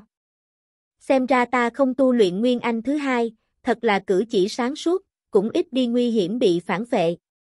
Ninh phàm sắc mặt chợt thông thả, thu tâm tư, vung tay lấy ra vạn kiếm ly tâm thảo. Khoảng cách bí cảnh mở ra, chỉ có mấy canh giờ. Mấy canh giờ quá ngắn, ngắn đến cái gì cũng không làm được. Ta hãy vững chắc quy lực của kiếm chỉ đệ nhị chỉ đi, chỉ này mặc dù ngưng tụ, vẫn hoàn toàn không hoàn thành. Tu luyện tới bước này, Ninh Phàm đối mặt một vấn đề rất nghiêm trọng. Lấy hay bỏ? Mình một thân thần thông quá nhiều, nhưng quá nhiều, lại không khỏi nhiều mà không tin. Như Long tuyền chi hỏa, lại như niệm ẩn quyết, niệm thủ quyết, quy lực muốn đề thăng tới hóa cấp, cần hao phí quá nhiều thời gian. Thời gian có hạn, chuyện có thể làm lại quá nhiều. Pháp thuật thiếu hụt thời gian tu luyện, giữa công và phòng, lợi dụng pháp bảo bổ sung khuyết điểm, rốt cuộc cần đề thăng, vẫn là tu vi và pháp lực, cảnh giới đề thăng, mới là căn bản. Về phần thuật luyện đan, ngũ chuyển sơ cấp luyện đan thuật, trước hóa thần, đều đủ dùng, nhưng nếu sau khi hóa thần, thuật luyện đan, không thể rơi xuống. Thời gian mấy canh giờ, đối với tu sĩ mà nói, bất quá chỉ là một cái búng tay. 17 tên ngoại hải đại tu sĩ, 74 tên nội hải đại tu sĩ, hội tụ ở đỉnh cực nhạc. Sau khi Ninh Phàm một thân một mình đến đây, hứa như Sơn gật đầu một cái, cùng nghiêm trung tắt một đường, dẫn quần tu, động quan tiến vào biển. Không sai, Ninh Phàm hiếm khi một thân một mình như vậy. Nữ thi bị Ninh Phàm thu vào trong đỉnh Lô Hoàng, giao cho băng linh Nguyệt Linh chiếu cố. Toái giới bí cảnh không cho hóa thần tiến vào, nữ thi không cách nào tiến nhập, chỉ có thể như vậy. Nếu là vào ngày thường, nữ thi vạn lần không muốn rời khỏi bên người Ninh Phàm nửa bước. Nhưng hôm nay, sau khi hảo cảm của nữ thi đối với Ninh Phàm tăng lên nồng đậm, đối với lệnh của Ninh Phàm, nàng càng ngày càng phục tòng. Mặc dù không muốn, nàng cũng chỉ đành tĩnh tọa trong hồng vụ không gian, ngồi bên bờ dòng nước có chiếc cầu nhỏ, một mình đang theo. Nàng theo ra cái đồ án, cứ lặp đi lặp lại, đều là Ninh Phàm. Quan, cô, đơn. Nữ thi tự như ủy khuất tự nói. Không còn biện pháp nào, Ninh Phàm chỉ có thời gian 5 tháng ở lại toái giới bí cảnh. 5 tháng này, chỉ đành hơi ủy khuất nữ thi vậy. Cửa vào của toái giới bí cảnh nằm ở đáy biển hoang ma hải, phía dưới hoang hợp đảo. Nơi đây hải quán phong phú, nguyên từ chi lực rất lớn, làm cho chỗ sâu nhất đáy biển lộ ra một chỗ không gian không có nước có diện tích vạn dặm. Ở chỗ này, hư không không ổn định, cũng không phải là hỏng mất, mà là mơ hồ liên kết qua lại cùng một giới khác. Nơi đây chính là cửa vào bí cảnh. Sang hô quán trong suốt như thủy tinh, giao nhân cùng hải thú đua nhau tránh lui. Đạp đi các biển, Ninh Phàm cùng chư tu sĩ hạ xuống chỗ sâu nhất của đáy biển. Ở chỗ này, 14 tên hoang ma tông nguyên anh canh giữ một chỗ quan môn lập lòe thất sắc. Quan môn đó cao ba trượng, vẫn là trạng thái phong ấn, khoảng cách hoàn toàn mở ra, còn có 3 giờ. Bên ngoài quan môn, đứng thẳng một tòa tử tinh cự bia cao trăm trượng. Trên bia đó có khắc vô số tên họ, có màu đen, lại có màu xám tro. Ánh mắt của hứa như sơn cùng Ninh Phàm giao nhau, sau khi lão ta từ trong mắt Ninh Phàm thấy một chút tự tin, lão mới thoáng trấn định. Trước khi tiến vào toái giới bí cảnh, lão cần giảng thuật một quy củ với chư vị đại tu sĩ. Chư vị đều biết, người có thể vào bí cảnh, tất là dưới hóa thần tu sĩ, mà trong bí cảnh, cũng có không ít hung hiểm, cho nên không có đại tu sĩ cảnh giới, lão phu cũng không đề nghị các vị tiến vào bên trong đó. Lần này theo lời mời của lão phu, bằng hữu nguyện xông tới bí cảnh, tổng cộng có 92 vị. Nhưng bí cảnh này, một lần chỉ cho 40 người tiến vào, cho nên người nào có thể vào, liền dựa vào thực lực. Mà lợi ích tiến vào bí cảnh, lão phu không nói nhiều rồi, một giọt địa mẫu minh nhũ, nhất định là có. Mà chư vị mỗi lần chém chết một con ngụy hoang thú, nộp lên một viên yêu đan, sẽ được đổi một giọt minh nhũ. Hiệu quả của hai giọt minh nhũ tương đương với một viên nguyên anh đạo quả, chỉ cần chư vị tìm tới yêu đan, lão phu tất không tiếc minh nhũ. Hứa như Sơn một lời nói ra, toàn sân đại tu sĩ đua nhau lộ ra ánh mắt nóng bỏng. Tu vi đến một bước này, pháp lực lại muốn đề thăng một sao nửa giáp, đã rất thảm hại. Một giọt minh nhũ, chính là 10 giáp, hai giọt minh nhũ, liền tương đương với một viên đạo quả. Vì một đại ngộ này, nhóm đại tu sĩ vô luận như thế nào cũng muốn tranh giành một trận. Mặc dù tiến vào bí cảnh, không giết ngụy hoang thú, chỉ tìm một chỗ địa điểm bế quan nửa năm, đợi rời khỏi bí cảnh, cũng có một dọc minh nhũ có thể cầm, không phải sao? vả lại nếu may mắn chém chết một hai đầu hoang thú, lợi ích kia, tất nhiên không cần nói cũng biết.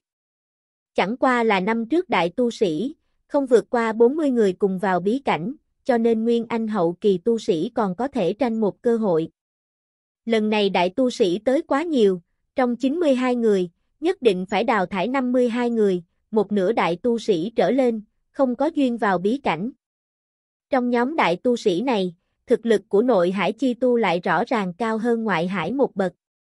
Thậm chí trong nội hải đại tu sĩ, lại còn có mấy người là tinh anh cao thủ của thất tôn thế lực. Muốn tranh một danh ngạch, sợ là không dễ. Không biết 40 danh ngạch này, lựa chọn như thế nào? Một vị đại tu sĩ lão giả cung kính hỏi. Lựa chọn như thế nào ư? Chư vị mời xem tử tinh cự bia này. Tấm bia này được gọi là bia chém giết, năm trước tu sĩ tiến vào bí cảnh, tất cả phải ở trên đó in xuống tên họ, nhưng phân chia hạng lại có chia ra trước sau. Tấm bia này tổng cộng in xuống ngàn đạo tên họ, người càng nhích về trước, thực lực càng mạnh. Ánh mắt của mọi người, đua nhau rơi vào trên tử tinh cự bia, Ninh Phàm một tia ánh mắt quét qua cự bia. Bên trên cự bia này, ngàn đạo tên họ, có màu đen có màu xám, có người mấy ngàn năm trước đã được khắc ra, lại có nhân vật mới giữa mấy trăm năm, ngoại hải cũng có thể nghe nói tên họ. Năm đó, đại tu sĩ một thân một mình săn giết 11 đầu hoang thú, tên xếp ở vị trí thứ 47. Còn tên của Hứa Như Sơn lại in vào vị trí thứ 13. Trước khi chưa là hóa thần, lão ta cũng từng vào bí cảnh chém giết, trong mấy ngàn năm, thực lực ban đầu của lão tiến vào đứng hàng 13 trong những người đó. 12 người trước, đều là nhân vật của nội hải, năm đó là Nguyên Anh đỉnh phong đại tu sĩ. Hiện giờ họ là nhân vật hóa thần đua nhau nổi tiếng ở nội hải. Nhìn qua tên họ của ngàn người, không ít lão quái đua nhau hoảng sợ. Ha! Hứa như Sơn tiền bối năm đó cũng vào qua bí cảnh, tuy nhiên thực lực của lão chỉ xếp hàng thứ 13 trong vô số người tiến vào. Nhìn này, xếp hàng thứ bảy là nội hải phù lãng tông tông chủ, hóa thần trung kỳ tu sĩ, đoạn Tùng Vân. Xếp hàng thứ tư là nội hải chu gia phó tộc trưởng, chu uy. Tên họ của người đó hẳn đã khắc 3.000 năm. Hôm nay chu uy là hóa thần hậu kỳ tu sĩ. Xếp hàng thứ nhất là cự ngôn, tự hồ là người lúc ban đầu tiến vào bí cảnh. Quá dữ dội và tài ba. Nhưng mà cái tên cự ngôn dường như vẫn có chút xa lạ. vả lại tự hồ tất cả tên họ, chỉ có người này là có màu đỏ, ngu xuẩn. Cự ngôn chính là cha của cự tôn, cự ma tộc tôn sư đời trước, năm đó chỉ kém nửa bước là có thể đột phá luyện hư kỳ cao thủ. Sau khi xem qua tên họ của tử bia, không ít lão quái đều nôn nao muốn thử, muốn nhìn một chút thực lực của mình, có thể từ trong 92 người, thoát dĩnh nhi xuất, in vào trên tử bia, có thể đứng hàng thứ mấy hay không? Mà cũng có lão quái, ông lòng nghi vấn đối với màu đen, màu xám tro trong những cái tên đó. Xin hỏi hứa tiền bối, vì sao tên họ trên bia này có màu đen, có màu xám tro, màu đỏ, lại là ý gì? Điều này mặc dù chư vị không hỏi, lão phu cũng nói rõ. Như các vị thấy, tên họ màu đen, đại diện sau khi vào bí cảnh, còn sống rời khỏi. Màu xám tro, dĩ nhiên là chết ở bí cảnh. Hứa Như Sơn nói cho tới đây, không ít lão quái âm thầm cũng hít một hơi khí lạnh. Bởi vì ngàn đạo tên họ trên bia, có bốn thành đều là màu xám tro, cũng chính là nói, toái giới bí cảnh, tỷ lệ tu sĩ tử vong chiếm bốn thành, 4 phần 10. Dĩ nhiên, năm trước người tiến vào, người tử vong, phần lớn là nguyên anh hậu kỳ thậm chí nguyên trung tu sĩ. Lần này người tiến vào đều là đại tu sĩ, tỷ lệ tử vong tất nhiên không cao, nhưng vẫn nói rõ, bí cảnh nguy hiểm. Còn màu đỏ đây. Ninh Phàm phá vỡ mọi người trầm mặt, hỏi. Cự ma tộc tiền nhậm tộc trưởng, cự ngôn. Người này tên họ có màu đỏ, nếu Ninh Phàm không nhìn lầm, hoàn toàn là bị lệ khí nhuộm đỏ. Màu đỏ. Đại diện người vào bí cảnh, chém giết hơn trăm con ngụy hoang thú. Hứa mổ hy vọng, lần này có thể thấy tên họ của Chu đạo hữu là màu đỏ. Ha! Từng lão quái một, đua nhau nghiêm nghị lên. Cự ma tộc tiền nhậm tộc trưởng, đơn độc một lần tiến vào bí cảnh, lợi dụng tu vi dưới hóa thần, trong vòng một năm, chém giết hơn trăm ngụy hoang thú. Người này chiến lực nghịch thiên, khó trách có thể trở thành đứng đầu cự ma tiền nhậm. Cao thủ như thế, lại sống ở niên đại mà chư vị lão quái còn chưa ra đời, khó gặp được một lần. Màu đỏ sao? Ninh Phàm mắt lộ ra tinh quang, như vậy hắn phải nhìn một chút, thực lực của mình, sẽ được cự bia công nhận là thứ mấy. Kế tiếp, mời chư vị đưa bàn tay đặt bên trên tử tinh cự bia, hướng cự bia thu phát một đạo pháp lực, cự bia tự sẽ vì chư vị xếp hạng. Ta tới trước. Lão phu thứ hai. Khảo nghiệm, kéo dài ba canh giờ. Từng lão quái một, theo thứ tự đưa bàn tay đặt ở bên trên cự bia, lấy mọi người đại tu sĩ tu vi, khắc lên tên họ, chen vào nhóm trước ngàn, dễ dàng, thậm chí không gì bất ngờ xảy ra, xếp hạng của mỗi đại tu sĩ đều trong trước 500.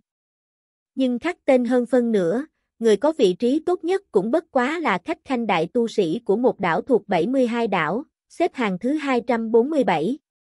Có thể vào trước 200 người, nhất định đều là nhân vật thiên kiêu của vô tận hải trong vạn năm, trong 200 người là một vinh dự. Để lão phu thử một lần. Một hồng bào đồng tử thanh âm khàn khàn, bước ra một bước, lập tức, đám người đua nhau nhường đường. Người này là phong yêu điện lục trưởng lão, sở hạt.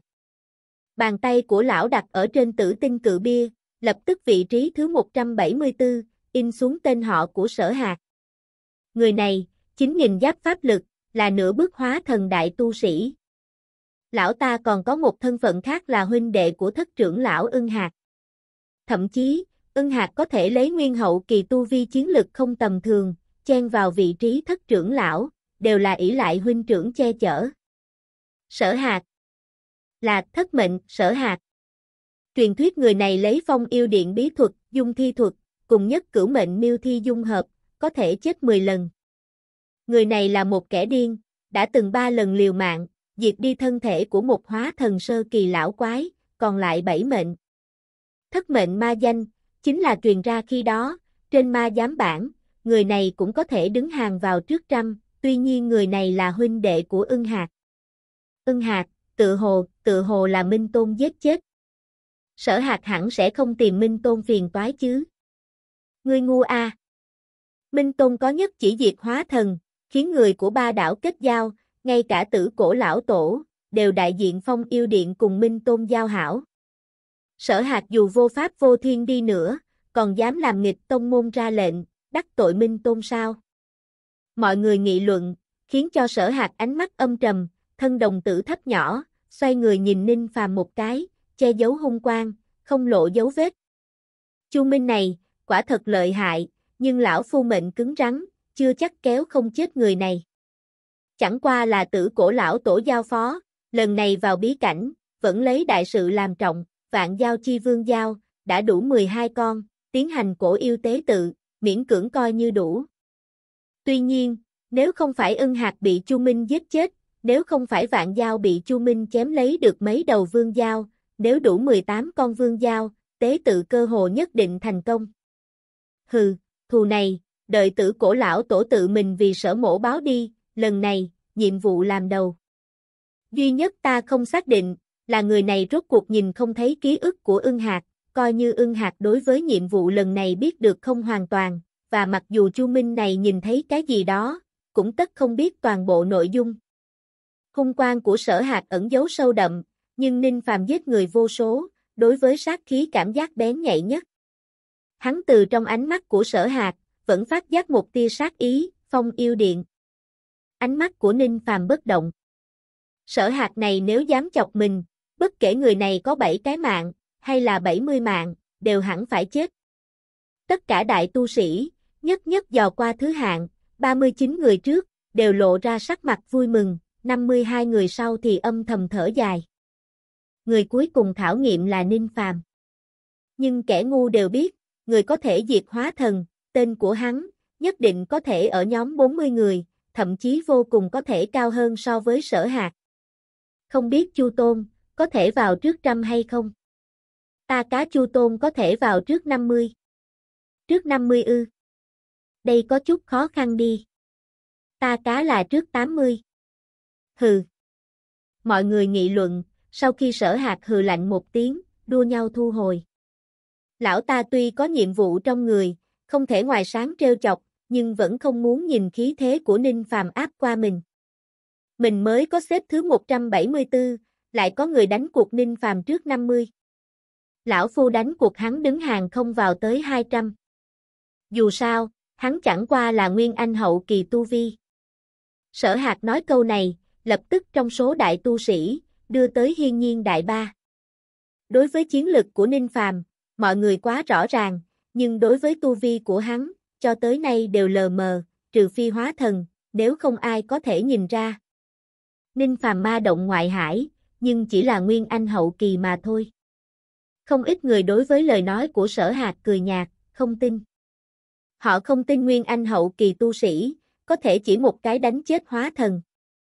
Nhưng cũng có người, cảm thấy sở hạt không nói láo, nói thầm với ma uy của Ninh Phàm, người ghen tị hắn chưa chắc không có. Nếu Ninh Phàm đúng là nguyên anh hậu kỳ, chiến lực kinh người như vậy, chưa chắc không thể nào đánh vào hạng phía sau. Chẳng qua là dám nói toạc ra trước mặt mọi người, chỉ có sở hạt mà thôi. Người này cũng gan lớn bằng trời, thứ nhất tử cổ từng nói rõ, không cho phép Ninh Phàm làm bị thương phong yêu điện tu sĩ nữa. Thứ hai sở hạt có bảy cái mạng, lão ta không sợ chết, hóa thần đều chỉ có thể giết lão ba lần, lão đã giết ngược lại hóa thần. Mặc dù Ninh Phàm mạnh hơn so với mình, nhưng sở hạt có lòng tin lấy ba cái mạng làm giá cao, giết chết Ninh Phàm.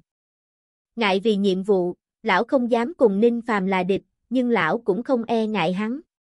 Hứa như sơn ánh mắt trầm xuống. Còn nghiêm trung tắc lại cơ hồ có xung động mắng mẹ. Ninh Phàm không thể vào trong 200 tên. Đùa gì thế? Nhất chỉ đó, nghiêm trung tắc lão tự hỏi đều không tiếp nổi. Hứa như sơn cũng không cách nào đón lấy. Hạng người như thế, chớ nói trước 200, chính là trước trăm, trước 50, trước 10, hai người đều cho rằng Ninh Phàm có thể làm được. Trong lúc nhất thời, hứa như Sơn cùng nghiêm trung tắc, ngược lại cực kỳ hy vọng Ninh Phàm lập tức khắc lên tên họ, đảo qua lời đồn đãi phỉ ngữ. Trong đám người, động hư lão tổ dẫn hứa thu linh, đứng chung một chỗ với không ít tu sĩ xem náo nhiệt. Linh Nhi, ngươi nói chu ca ca của ngươi có thể xếp thứ mấy? Động hư cười hỏi. Thứ nhất. Hứa thu linh kiên định đáp. Ai, đều nói nữ tâm hướng ngoại, còn chưa qua cửa, trong mắt ngươi, Chu ca ca đã không người nào có thể so cùng sao. Thứ nhất ư. Thứ nhất hắn không lấy được, nhiều là thứ chín, vì sao? Chu công tử lợi hại như vậy. Hứa Thu Linh không hiểu hỏi. Ngươi không biết rồi, toái giới bí cảnh này, lúc ban đầu được cự ma tộc phát hiện, cũng tăng thêm mở ra, mới đầu mấy ngàn năm, hóa thần sơ kỳ tu sĩ đều có thể vào. Người khai hoang là cự ma tộc lão tộc trưởng, cự ngôn. Người này khi còn sống, có thể là nhân vật ghê gớm của vô tận hải. Lúc lão ta tung hoành vô tận hải, lão hủ vẫn chỉ là một kim đan tiểu bối mới vừa tu ma. Người này khai hoang bí cảnh, chém giết mấy trăm ngụy hoang thú, lúc này lão ta, thực tế tu vi trên hóa thần rồi. Mà sau mấy lần, lũ lượt có hóa thần tu sĩ tiến vào bên trong đó, săn giết hoang thú, trừ cự ngôn, tu sĩ trước chính đều tiến vào khi đó. Nhưng bởi vì cự ngôn một người chi sát lục, hoang thú chết hầu như không còn, cho nên tám vị hóa thần kia, cũng không đạt được bao nhiêu yêu đang luyện khí luyện bảo, cho nên tên họ không phải màu đỏ. Nếu không, bọn họ hơn phân nửa cũng có thể săn giết gần trăm hoang thú. Sau đó, bí cảnh xuất hiện triệu chứng hỏng mất, hóa thần không thể vào, đại tu sĩ không cách nào săn giết hoang thú. Mấy ngàn năm tu dưỡng, hoang thú mới dần dần nhiều hơn. Nhóm cao thủ hứa như Sơn sau đó tiến vào. Có thể nói, tên thứ 10, thực tế chính là tên thứ nhất dưới hóa thần. Bởi vì chính tên trước, đều là hóa thần. Nhưng ta vẫn cho rằng, Chu công tử có thể được thứ nhất. Hứa Thu Linh cười nhạt. Ách, ngươi vì sao đối với hắn tin tưởng như vậy? Hắn quả thật thần bí đến khiến cho lão hủ nhìn không thấu, nhưng cho dù là xông vào trước chính, cũng không thể nào thứ nhất. Bởi vì thứ nhất, là lão cự tôn A, có thể chỉ điểm nội hải thất tôn sư phụ làm sao để đột phá luyện hư. Điểm này, có người có thể so sánh với huynh ấy hay sao? Hứa Thu Linh cười một tiếng, nàng đối với Ninh Phàm, chính là có lòng tin vô hạn. Ánh mắt của Ninh Phàm bình tĩnh, đi tới trước tử tinh cự bia. Hắn không ngông nghênh, không có lòng tranh đấu, chẳng qua là khi đứng trước cự bia, ánh mắt của hắn, khí thế đột nhiên tăng vọt, lệ khí kinh thiên. Phản phất cả đời chém giết, đều đè xuống trên một chưởng này. Ta muốn thứ nhất. Hai chữ Chu Minh, từ từ hiện lên trên tử tinh cự bia, xuất hiện càng cao hơn cự ngôn.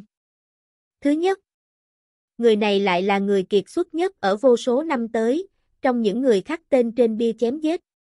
Mọi người đều đoán sai rồi. Tấm bia chém giết này, phương pháp phán xét xếp hạng tu sĩ, cũng không phải là tu vi, cũng không phải chiến lực đơn giản như vậy. Chỉ có chiến lực, không đủ, càng nhiều hơn, là phán xét lực chém giết của tu sĩ. Tại chỗ rất nhiều ma đầu, thậm chí đều có trải qua diệt người phàm một nước, trên tay đều có mấy vạn mấy chục vạn nợ máu của người phàm. Nhưng người mà Ninh phàm giết chết chỉ có tu sĩ. Nên lệ khí kia há là thường nhân có thể so cùng.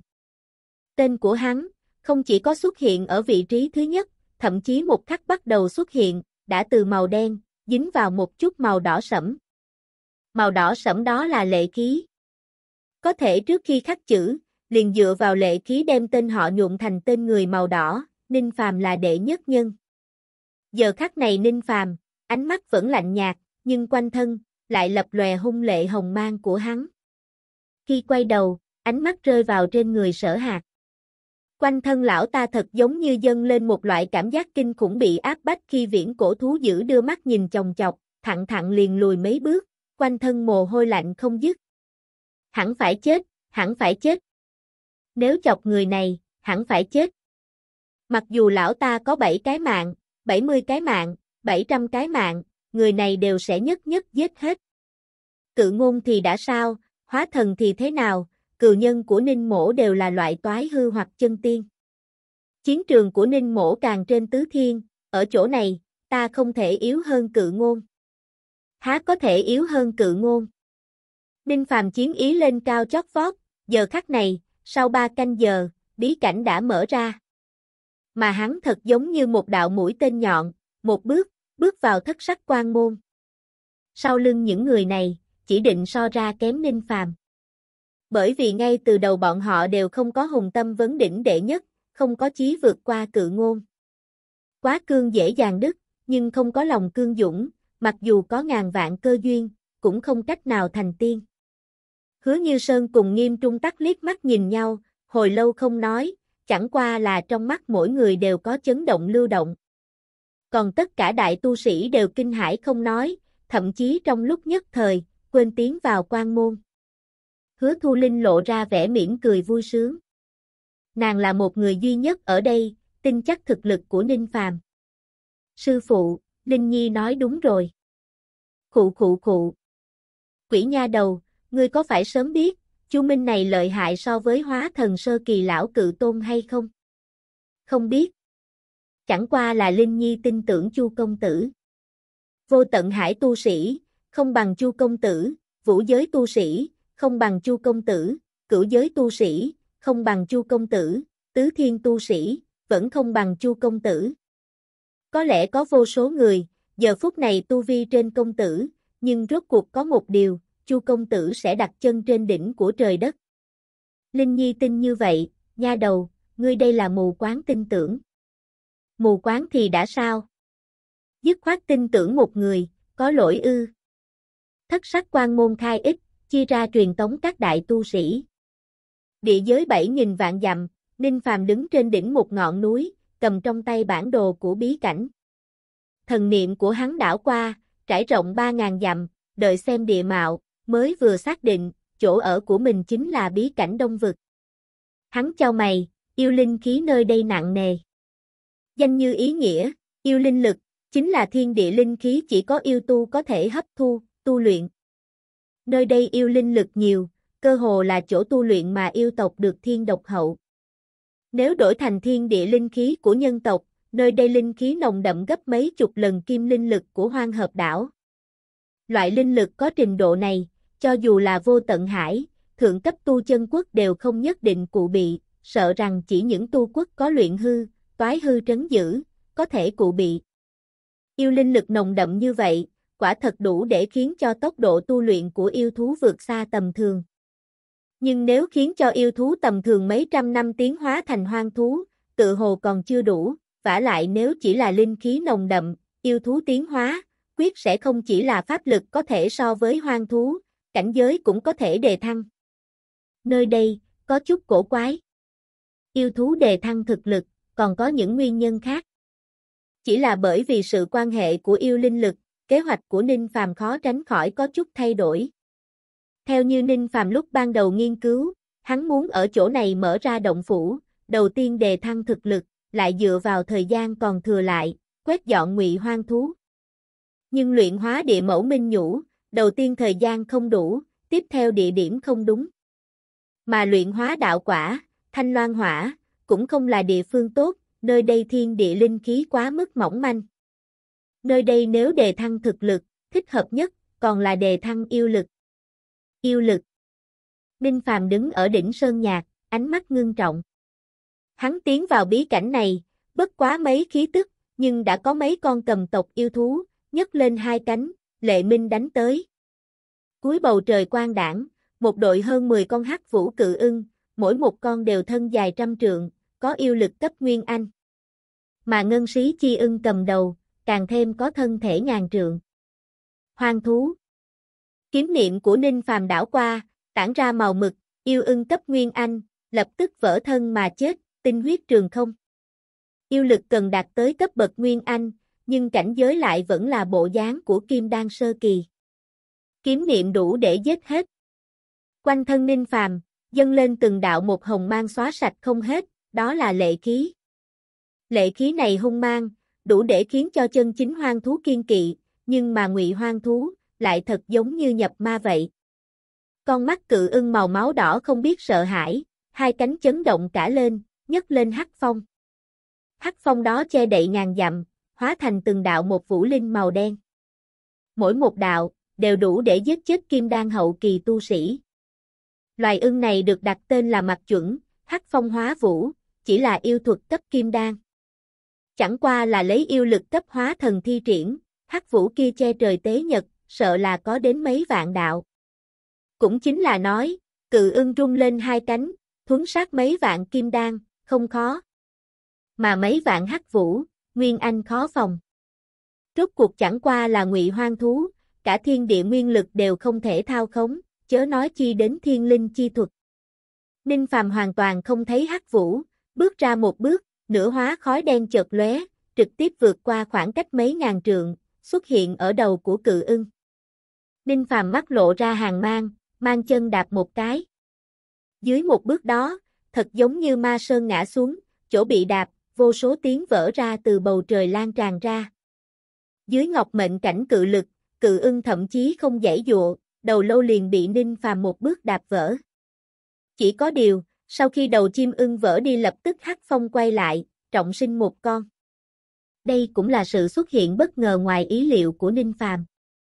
Yêu thú nơi đây có thủ đoạn không mạnh, mệnh ngược lại cứng rắn. Cần phải biết sau khi diệt địch, thường thường là lúc tu sĩ lười biếng nhất. Nếu địch nhân chết mà sống lại, cho tu sĩ đã kích trí mạng, vô cùng có thể bởi vì kinh thường mà chết đi. Khó trách bốn thành tu sĩ chết bởi nơi đây. Quả nhiên, ưng thủ trọng sinh, cự ưng lộ ra tâm tình giận dữ. Hắc vũ quanh thân như kiếm phủi xuống, đua nhau đâm về phía đỉnh đầu Ninh Phàm. Song Ninh Phàm vẫn chấp tay đứng ở đầu của cự ưng, ánh mắt ngưng trọng, quanh thân dân lên ngọc sắc cương linh nhàn nhạt, thật giống như một ngọc sắc quan kiển to lớn, bao phủ hắn bên trong.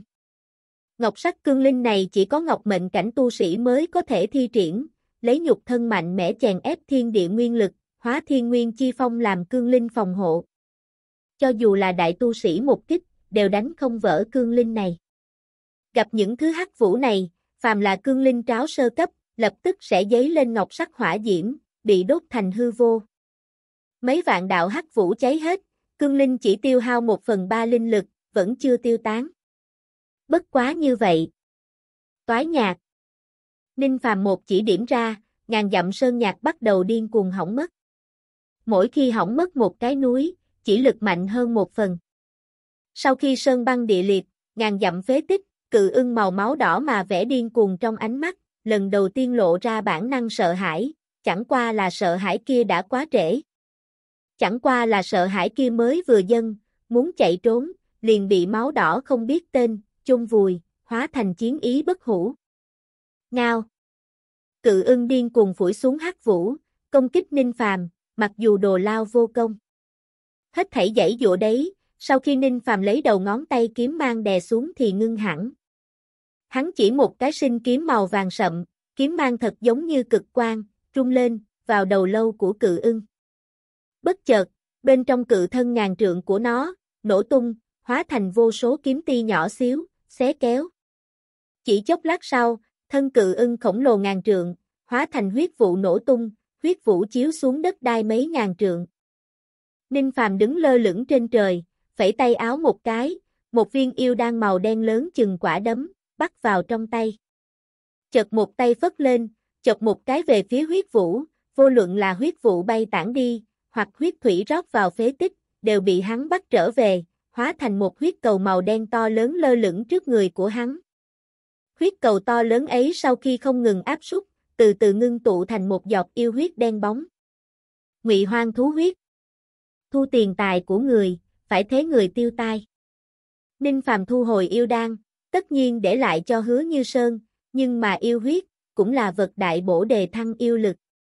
Ở nơi này yêu linh lực nồng đậm đến phát chỉ, Ninh Phàm nếu có đầy đủ yêu huyết, yêu lực tu vi có lẽ sẽ đề thăng tới cảnh giới kinh khủng.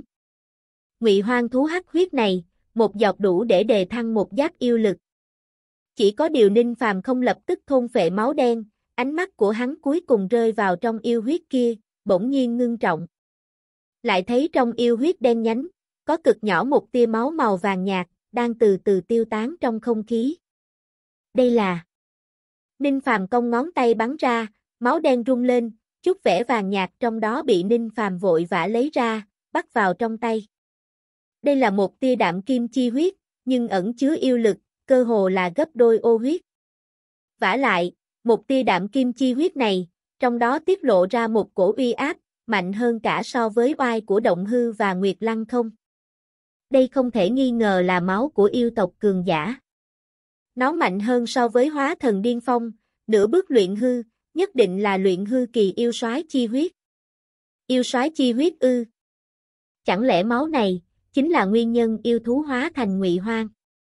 Là nguyên nhân mà ngay cả con cự ưng kia rõ ràng sợ hãi, cũng không dám chạy trốn, liều chết đánh một trận sao? Đạm kim chi huyết này nồng đậm đến không cách nào lập tức thôn phệ, nhất định phải lấy yêu thảo phụ trợ, mới có thể nuốt vào. Ninh Phàm vỗ một cái vào trữ vật đại, thu tia máu màu vàng nhạt vào trong bình ngọc. Chẳng qua là bất chợt, một cái bình ngọc khác khác, cùng cái bình chứa máu màu vàng nhạt này thật giống như dâng lên sự cộng hưởng vậy. Bình ngọc nọ là năm đó Ninh Phàm lúc ở Đại Tấn, đã cướp được từ trong tay của Lý Bạn, trong đó, hắn nhớ là chứa đựng một giọt yêu huyết cực kỳ mạnh mẽ. Yêu huyết kia, lấy năm đó Ninh Phàm dung linh tu vi, ngàn vạn lần không thể thôn phệ. Mà hôm nay, thân thể của Ninh Phàm ngược lại đủ để chịu đựng yêu huyết lực đó. Hắn trầm mặt không nói, lấy ra bình ngọc, thần niệm dò vào, trong đó chứa đựng là một giọt hoàn chỉnh đạm kim chi huyết. Một giọt yêu soái chi huyết hoàn chỉnh sao? Một giọt máu này, đáp ứng trăm đạo tia máu mới có thể ngưng tụ. Một đạo đạm kim huyết ti có thể đề thăng hai giáp yêu lực, một giọt đạm kim yêu huyết, có thể đề thăng 200 giáp yêu lực. Ninh Phàm thu hồi hai bình ngọc, há mồm nuốt vào ô huyết của cự ưng, cũng không tốn hao quá lâu, liền đem nó luyện hóa. Yêu lực đề thăng tới 67 giáp. Nơi đây thu nạp yêu huyết, tốc độ nhanh đến không thể tưởng tượng nổi, mà vật để luyện hóa đề thăng pháp lực, lại chậm đến bất ngờ. Yêu soái chi huyết. Vật này tại sao lại xuất hiện trong bí cảnh? Yêu soái. Chẳng lẽ trong toái giới bí cảnh này, có yêu soái tồn tại có thể so với luyện hư tu vi hay sao? Hơn nữa, kim huyết mà ta lấy được trong cơ thể của cự ưng, cùng Lý Bạn đang giữ, rõ ràng là cùng yêu soái lưu lại. Lý Bạn Toái giới bí cảnh này sở dĩ tồn tại, nguyên nhân có lẽ sẽ không đơn giản. Ninh Phàm chợt vỗ vào trữ vật đại, lần nữa lấy ra bản đồ, nhìn khu vực trống không bảy nghìn vạn dặm bên ngoài, ánh mắt ngưng trọng. Chẳng lẽ trong khu vực không cách nào tiến vào lại có yêu soái tồn tại sao? Nơi đây, chẳng lẽ có liên quan cùng thượng cổ yêu tộc bí ẩn ư? Ninh Phàm thu hồi bản đồ, hắn rung lên đỉnh lô hoàng, gọi ra trà hoa nữ yêu và phong tính nữ yêu. Hai nàng bị Ninh Phàm sắc bổ, chỉ còn dư yêu lực cấp kim đan, nhưng một khoảng thời gian tư dưỡng, khí sắc quả nhiên càng sáng sủa hồng hào hơn so với trước. Hai nữ yêu tự hồ đang bàn luận gì đó, vừa thấy bị Ninh Phàm gọi ra hồng vụ không gian, lập tức thân thể mềm mại rung lên, thu lời nói. Nô tỳ ra mắt chủ nhân, không biết chủ nhân có gì phân phó. Hai nữ yêu nhất tề cúi đầu, mái tóc đẹp che lấy khuôn mặt, trên dung nhan, vẫn là từng đạo vết sẹo. Xin lỗi, ta đáp ứng luyện chế phục dung đan cho các ngươi, nhưng một mực chưa có thời gian luyện chế. Vậy sao, chủ nhân mặc dù chưa luyện viên đan dược này, nô tỳ cũng không dám oán hận chủ nhân. Dưới mái tóc tím của phong tính nữ yêu, trong con ngươi hơi thoáng qua chút mất mát. Không có phục dung đan, nàng tất nhiên thất vọng, nhưng mà phải làm thế nào đây?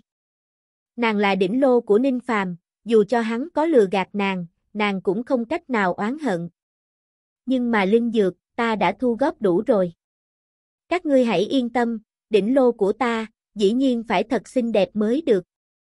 Ninh Phàm khẽ mỉm cười, bàn tay mơn trớn gò má của hai nữ yêu, lập tức, trà hoa nữ yêu lộ ra một nụ cười hờn dỗi. Còn phong tính nữ yêu thì hơi cảm động. Linh dược đã đủ sao? Ngũ chuyển đang dược phục dung đan, cần tất nhiên vạn năm linh dược, lúc này mới bao lâu, Ninh Phàm đã đủ linh dược, tất nhiên đã để trong lòng chuyện trị liệu dung nhan cho hai nàng. Phong tính nữ yêu rất khó không cảm động. Lấy lúc nàng còn là bạn yêu, thân phận thấp hèn, cho dù yêu tướng hủy dung nhan của nàng, nàng cũng không được kháng mệnh. Còn chủ nhân mới hiện giờ lại nguyện ý vì hai nữ yêu xấu xí như vậy, phục dung, đa tạ. Phong tính nữ yêu lần đầu tiên bật cười, mặc dù dung nhan vô cùng xấu xí, nhưng nàng cười cũng rất xinh đẹp. Lời cảm ơn đợi khi đang dược luyện thành rồi nói sau. Giờ phút này ta xin hỏi hai người các ngươi, nơi đây, hai người các ngươi có biết không? Ninh Phàm xem ra, nếu nơi đây thật đúng là có liên quan với thượng cổ yêu tộc, có dính dấp với yêu soái, hai nữ yêu thân là yêu tướng bạn yêu, ít nhiều biết chút gì. Chẳng qua là hai nữ yêu sau khi nhìn ra chỗ này, lập tức nhất tề lộ ra vẻ kinh hãi. Chủ, chủ nhân, ngài làm sao tìm được chỗ này? Nơi này, nơi này chính là Trầm Thụy Chi địa ta. Nói không chừng, sẽ có yêu tướng, thậm chí yêu soái ngủ say. Cực kỳ nguy hiểm. Hai nữ yêu thân là đỉnh lô, lại trong đời lần đầu tiên quan tâm tới sự an nguy của Ninh Phàm. Trầm Thụy Chi địa sao? Như vậy, quả thật có yêu soái ở chỗ này rồi ư? Ánh mắt của Ninh Phàm ngưng trọng. Dạ phải. Nếu nô tỳ không nhìn lầm, nơi này hẳn là đệ nhất giới. Đệ nhất giới sao? Cái danh xưng này, Ninh Phàm lần đầu tiên nghe thấy. Dạ, chủ nhân hẳn biết, yêu linh chi địa là thiên giới mà thiên yêu bay thẳng lên, nhân tộc thiên giới chia làm tứ thiên, còn yêu linh thiên giới thì chia làm tỉnh giới, mộng giới. Lý bạn yêu tướng cùng hai người nô tỳ chính là thức tỉnh từ mộng giới, nhận lệnh của yêu soái, tìm yêu tướng, yêu soái của hạ giới, trầm thụy chi địa, đánh thức họ, cũng như hoàn thành nhiệm vụ nào đó. Nhân vật cụ thể, hai người nô tỳ thân là bạn yêu, thân phận thấp kém, không biết, lý bạn. Ninh phàm cao mày, khó trách yêu tướng này bạc hổ như vậy, dám tự tiện đưa tới yêu triều, khó trách vũ điện đều không dám kinh thường giết yêu tướng này, thì ra là người của thượng diện, sao, trầm thụy chi địa là cái gì, đệ nhất giới là vật gì? Ninh phàm hỏi tiếp. Bẩm chủ nhân, trầm thụy chi địa từng thuộc về một phần của mộng giới, cũng có thượng cổ yêu tộc ngủ say, bởi vì một ít nguyên nhân, từ mộng giới vỡ tan tành, chia lìa, cũng lấy hình thái của giới diện vỡ tan, chảy vào hạ giới. Quái giới bí cảnh nơi đây thực tế chính là một chỗ trầm thụy chi địa, hẳn có yêu tướng, yêu soái ngủ say ở đây. Đặc thù rõ rệt nhất của trầm thụy chi địa chính là đệ nhất giới dưỡng yêu, đệ nhị giới yêu tướng chi noãn đang ngủ say. Nếu có yêu soái, thì yêu soái liền ở đệ tam giới ngủ say. Nơi đây yêu linh khí kinh người như vậy, vô cùng có thể có yêu soái tồn tại, nơi đây rất nguy hiểm. Trong mắt của hai nữ nhân mơ hồ có chút ân cần. Đệ nhất giới cùng đệ nhị giới, đệ tam giới có thể thông hành không? Không thể. Trừ phi có người bày cổ yêu trận, lấy cổ yêu tế khí tế tự, lấy cổ yêu văn tụng kinh, kèm thêm đó yêu tế của huyết tế số lượng nhất định, mới vừa có thể tạm thời mở ra lối đi. Đệ nhất giới dưỡng yêu, là vì cung cấp dưỡng liêu cho đệ nhị giới yêu tướng ngủ say. Yêu tướng trong lúc ngủ mê, cần bạn yêu thủ hộ. Yêu soái trong lúc ngủ mê thì cần yêu tướng thủ hộ, nếu lối đi có thể tùy ý tiến vào, thượng cổ yêu tộc ngủ say, lại nguy hiểm rồi, vậy sao? Ninh Phàm hơi trầm ngâm, nếu đệ nhất giới chỗ của mình không thông hành cùng đệ nhị giới, mặc dù nơi đây có yêu soái ngủ say, mình cũng không nguy hiểm. Nguy hiểm chưa nói tới, nhưng xem ra đạm kim chi huyết kia, đối với yêu soái nếu nói ngủ say, Ninh Phàm hăng hái đột nhiên lên cao. Yêu soái trong lúc ngủ mê không cách nào phản kích sao? Nếu mình giết yêu soái kia, không biết có thể được bao nhiêu giọt kim huyết. Một giọt kim huyết, trăm đạo huyết ti thành 200 giáp pháp lực, nếu có 50 giọt kim huyết, Ninh Phàm săn giết yêu soái ngủ say, nói không chừng yêu lực của mình có thể ở chỗ này đột phá hóa thần. Pháp lực hóa thần, vẫn không dễ dàng, vả lại cần chuẩn bị để hóa ma, nhưng yêu lực lại ít đi những thứ băng khoăn đắn đo này. Nếu ta có thể lặng nhập vào đệ nhị giới, đệ tam giới là được thiết pháp chém chết yêu soái ngủ say. Một khi thành công, ta dựa vào yêu lực, đột phá hóa thần. Chẳng qua là Chẳng qua là chưa kể Ninh Phàm không hiểu cổ yêu trận, lại càng không hiểu thượng cổ yêu tộc văn tự, muốn nhập vào đệ nhị giới, quả nhiên có chút khó khăn. Hai người các ngươi là thượng cổ yêu tộc, có biết cổ yêu trận, cổ yêu văn hay không? Trước mắt Ninh Phàm sáng lên. Có biết một hai. Nhưng mà chủ nhân, ngài hỏi điều này làm gì? Chẳng lẽ ngài nghĩ, ngài nghĩ rằng Không sai, ta muốn nhập vào đệ nhị giới, cũng tìm cơ hội tiến vào đệ tam giới, chém yêu soái. Yêu soái lợi hại, không phải là địch, nhưng nếu y đang ở trạng thái ngủ say, thì chưa chắc không thể giết. Đây là một cơ duyên, nếu không có hai nữ yêu này, Ninh Phàm sẽ không biết diện mục chân thật của bí cảnh. Nếu không phải thần thông kinh người, hắn cũng không cách nào khám phá trong ngụy hoang yêu huyết có ẩn giấu một tia đạm kim yêu huyết. Nếu cơ duyên đến mà mình bỏ qua, không khỏi quá mức đáng tiếc. Hai nữ yêu vẫn nghi ngờ, nhập vào đệ nhị giới, chưa kể tài liệu của trận pháp cần đã khan hiếm, huyết tế chi yêu càng thêm hà khắc, chỉ nói trong đệ nhị giới, vì thủ hộ yêu soái ngủ say, có thể đã có thật nhiều yêu tướng thức tỉnh. Lấy ninh phàm không có hóa thần tu vi tiến vào, một khi bị yêu tướng đuổi giết sẽ nguy hiểm. Không phải sợ, trừ phi ta chết, nếu không có hai người các ngươi không việc gì, mà ninh phàm ta, sẽ không chết. Nói đi, nhập vào đệ nhị giới bày yêu trận, cần tài liệu gì? Hội bẩm chủ nhân, cần tử yêu thạch mài thành bột, thần niệm khắc trận, cũng cần ít nhất ngàn vạn tiên ngọc bổ túc trận nhãn. Chẳng qua là hai người nô tỳ thân phận thấp kém, cổ yêu văn tự có thể biết cũng hiếm hoi, chưa chắc mở ra đại trận thành công. Huống chi, giới lộ có mở ra thành công hay không, mấu chốt nhất là cần lấy vương thú huyết, cung phụng yêu tổ. Trong mắt của hai nữ yêu rất cảm động. Lời của Ninh Phàm rõ ràng liều lĩnh, lại bởi vì thực lực không tầm thường, phản phất định tâm hoàng, luôn có thể khiến cho người an tâm. Tử yêu thạch, ta đã có được không ít từ trên tay của hứa như sơn, hẳn có đủ. Tiên Ngọc cũng không có vấn đề, về phần vương thú tinh huyết, ta một đường dết về giới lộ hướng bắc vực, hẳn có thể thu thập một ít. Về phần các ngươi không tinh thông chữ viết cổ yêu sao? Nếu bây giờ thất bại, chính là thiên ý, cũng không cách nào, hai người các ngươi không cần có áp lực, chẳng qua là thử một chút mà thôi. Ninh Phàm vỗ nhẹ lên mái tóc của hai nữ yêu, tỏ vẻ an ủi.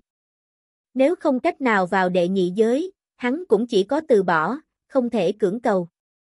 Nhưng nếu có thể vào, hắn nhất định thiết pháp lấy được yêu soái chi huyết, đột phá hóa thần. Một tháng trôi qua.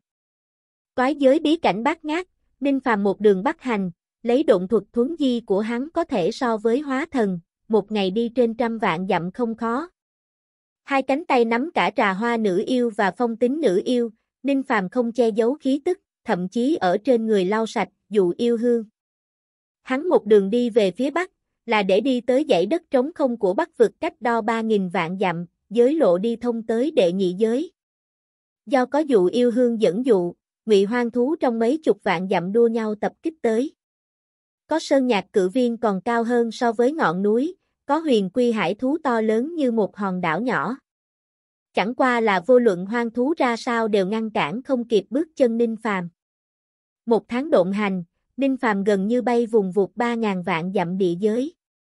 Ở sau lưng của Ninh Phàm, bảy con cự viên màu đen điên cuồng đuổi theo, tất cả cao ngàn trượng. Sau lưng cự viên lại đi theo mấy trăm con thanh viên cao trăm trượng, mỗi một con đều có ít nhất nguyên anh pháp lực khí tức. Đây đã không biết là lần thứ mấy yêu thú điên cuồng truy đuổi.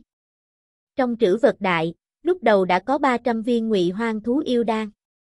Một chỗ đỉnh núi vắng vẻ, Ninh Phàm hạ xuống, để xuống hai nữ yêu, cầm trong tay huyền thiên trảm linh kiếm, trong mắt hàng mang chợt lóe. Trừ hồn. Bàn tay hắn chọc một cái, vạn dặm núi sông chi hồn, bị hắn bắt vào trong tay, vào trong cơ thể. Vạn giáp pháp lực, gia trì vào thân, một kiếm chém ngang, liền thấy một dãy tơ xanh cắt ngang liên tiếp, vạn dặm hư không, bị một kiếm xé rách. Thanh tuyến kia lướt qua, thiên linh tê liệt, bảy con hắc viên, mấy trăm con thanh viên, một kiếm vỡ thân mà chết. Bảy viên ngụy hoang yêu đan, mấy trăm viên ngụy anh yêu đan đã tới tay. Bảy giọt máu thú màu đen nhánh, mấy trăm giọt máu thú màu xanh đậm, cùng với bảy đạo yêu soái chi huyết màu vàng nhạt cũng tới tay. Ninh Phàm dọn dẹp chiến trường, hắn trở về đỉnh núi, hơi có chút cảm giác mệt lã. Tiêu trừ dụ yêu hương trên người, Ninh Phàm uống vào mấy viên tâm nguyên đan, ngân huyết đan, điều tức pháp lực cùng thể lực. So với hoang thú trên bản đồ, nhiều hơn rất nhiều. Bản đồ này là lúc hứa như Sơn tiến vào bí cảnh ghi chép, đến nay mấy ngàn năm có thừa, mấy ngàn năm tu dưỡng, nơi đây hoang thú tuyệt đối không chỉ có mấy trăm con, sợ rằng không chỉ ngàn con. Nếu có thể sang bằng ngàn đầu hoang thú, không chỉ có ngàn giọt ngụy hoang yêu huyết, còn có 10 giọt yêu soái chi huyết, yêu lực của Ninh Phàm, sợ là đủ để đề thăng 3000 giáp. Điều này tức là nói, mặc dù không cách nào tiến vào đệ nhị giới, chỉ dựa vào ngụy hoang thú trong đệ nhất giới, yêu lực của Ninh Phàm đột phá Nguyên Anh đỉnh phong đã không khó.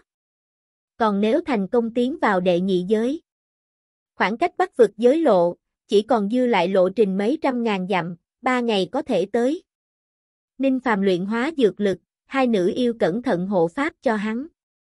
Tuy nói lấy hai nữ yêu với kim đan yêu lực, có hộ pháp hay không đều không khác biệt. Nhưng mà tâm ý của hai nàng đã nói rõ, hai nàng dần dần đã tiếp nhận Ninh Phàm làm chủ nhân mới, cũng phát ra từ nội tâm, bắt đầu kính trọng chủ nhân. Trà hoa nữ yêu càng ngưỡng mộ khí độ của Ninh Phàm. Còn phong tính nữ yêu lại kính trọng sự can đảm cũng như thực lực của hắn. Một tháng nay, phong tính nữ yêu mắt thấy Ninh Phàm lấy lực một người, diệt 300 hoang thú, Ngụy Anh cấp yêu thú lên tới hàng vạn, là tuyệt không cách nào bình tĩnh. Người này tuyệt đối có thực lực sang bằng đệ nhất giới. Thậm chí phong tính nữ yêu không cách nào tưởng tượng, Ninh Phàm chưa là hóa thần, càng nắm giữ toái hư thần thông trừ hồn. Rút ra hồn của núi sông, thật giống như bí pháp gia thân, ngắn ngủi đột phá vạn giáp pháp lực, cũng thúc giục huyền thiên tàn bảo, một kiếm chém địch. Ngay cả lý bạn yêu tướng có hóa thần tu vi, cũng bất quá như thế, không phải sao? vả lại so sánh với vẻ lạnh lùng, lương bạc của lý bạn, Ninh Phàm đối đãi hai nữ yêu họ lại vô hình trung có một loại ôn nhu. Suy nghĩ một chút mình từng vì di thiên xá lợi, đuổi giết Ninh Phàm, phong tính nữ yêu liền bật cười. Ta thật là, quá ngu rồi. Nàng lấy ra một cái ngọc giản màu tím, đem chừng mấy chục thượng cổ yêu tộc văn tự có trong thức hải, in dấu xuống. Nàng đợi sau khi Ninh Phàm hô ra một ngụm trọc khí, tinh khí thần phục mới giao cho hắn. Đây là gì? Cổ yêu tộc văn tự. Chẳng qua là một loại yêu văn tầm thường nhất, vả lại nô tỳ tài học thiển cận, chỉ biết có 31 chữ này. Vậy sao, ta nghe nói, cổ yêu tộc văn tự cực kỳ tối tăm mà trong đại tộc tự hồ còn truyền thừa có chữ viết đặc thù, như long ngôn, phượng ngữ. Hơn nữa, cổ yêu văn tự mỗi một khoảng đều có dấu phù thức, cho dù sư hồn, cũng không cách nào từ cổ yêu thức hải, lục soát ra chữ viết hàm nghĩa. Thân là yêu tộc, đem cổ yêu văn tự tiết lộ cho nhân tộc, nếu bị những thượng cổ yêu tộc khác biết, tự hồ là tội lớn. Ngươi cho ta ngọc giảng này, không hối hận sao?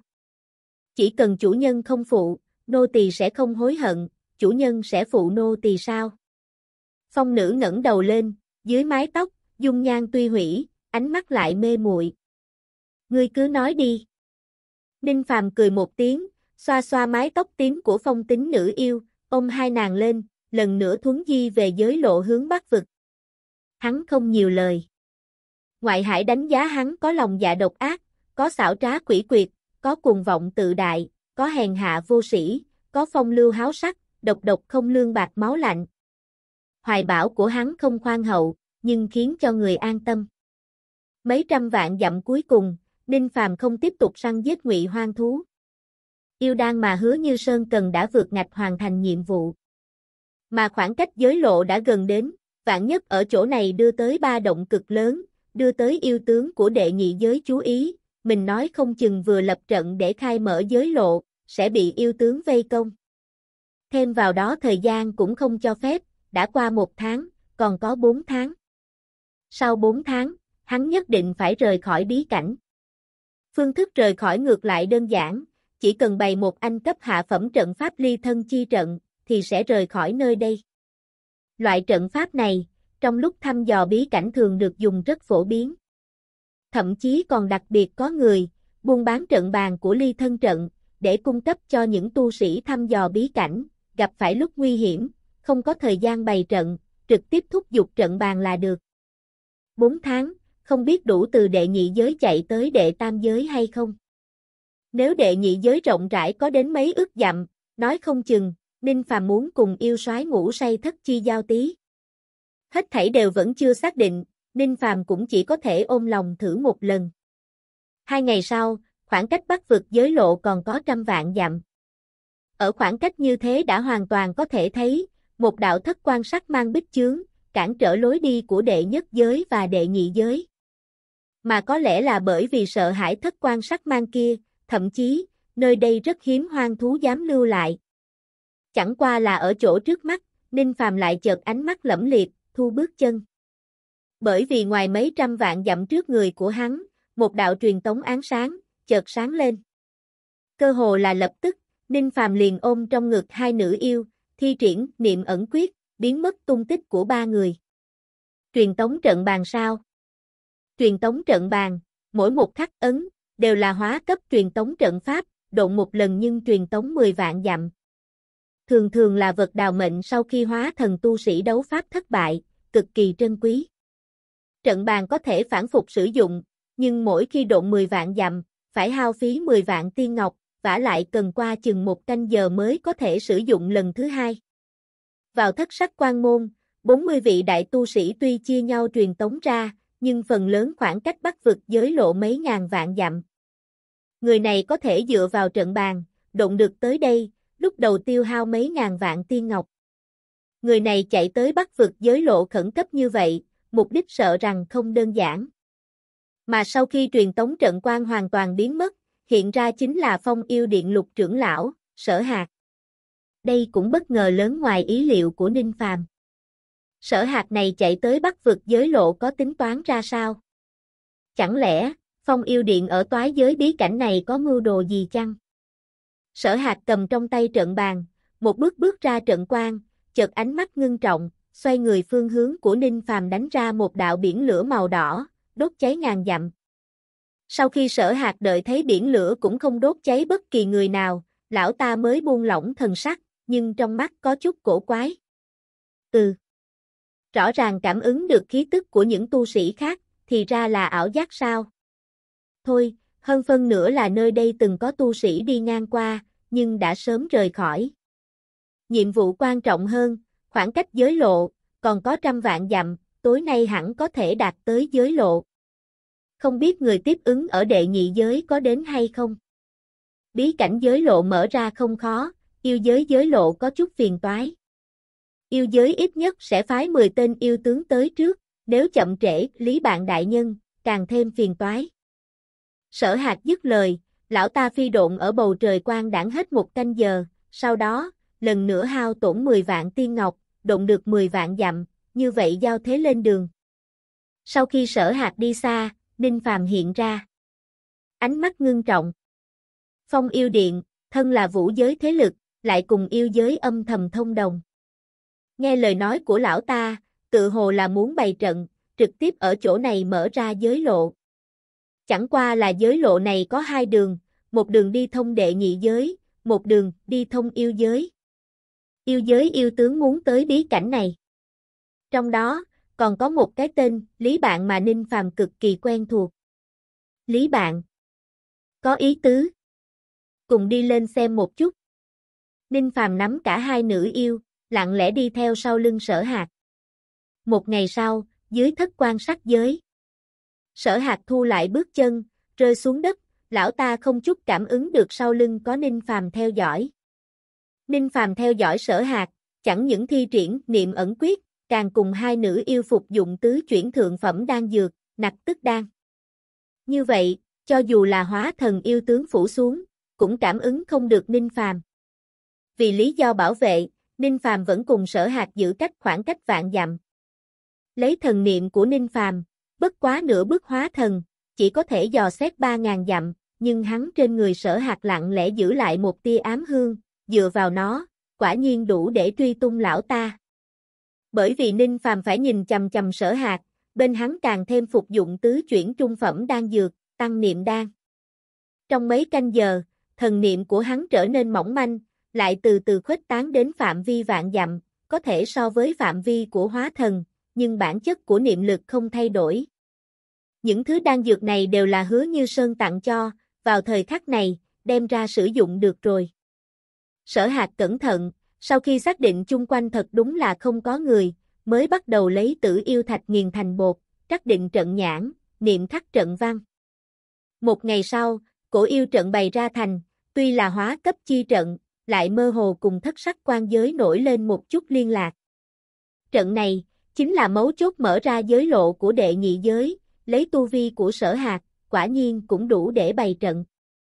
Trận văn thành, sở hạt lấy ra mấy chục món cổ yêu tế khí, sau khi bày ra, chỉ kém tụng cổ yêu kinh, huyết tế vương thú thì sẽ mở ra lối đi của đệ nhị giới. Chỉ có điều sở hạt không lập tức huyết tế vương thú, lão ta ngược lại rời khỏi đại trận, lấy ra một cái lục túc đồng thú chi yêu tượng, đặt ở một chỗ địa điểm khác, vây lượng yêu tượng này, lấy ra tám cổ thây khô tử vong đã lâu, bày ở bốn phía yêu tượng. Mỗi một cổ thây khô, khi còn sống đều là chân chính hoang thú. Video đến đây là hết nếu bạn thấy hay nhớ like và đăng ký kênh ủng hộ mình nha.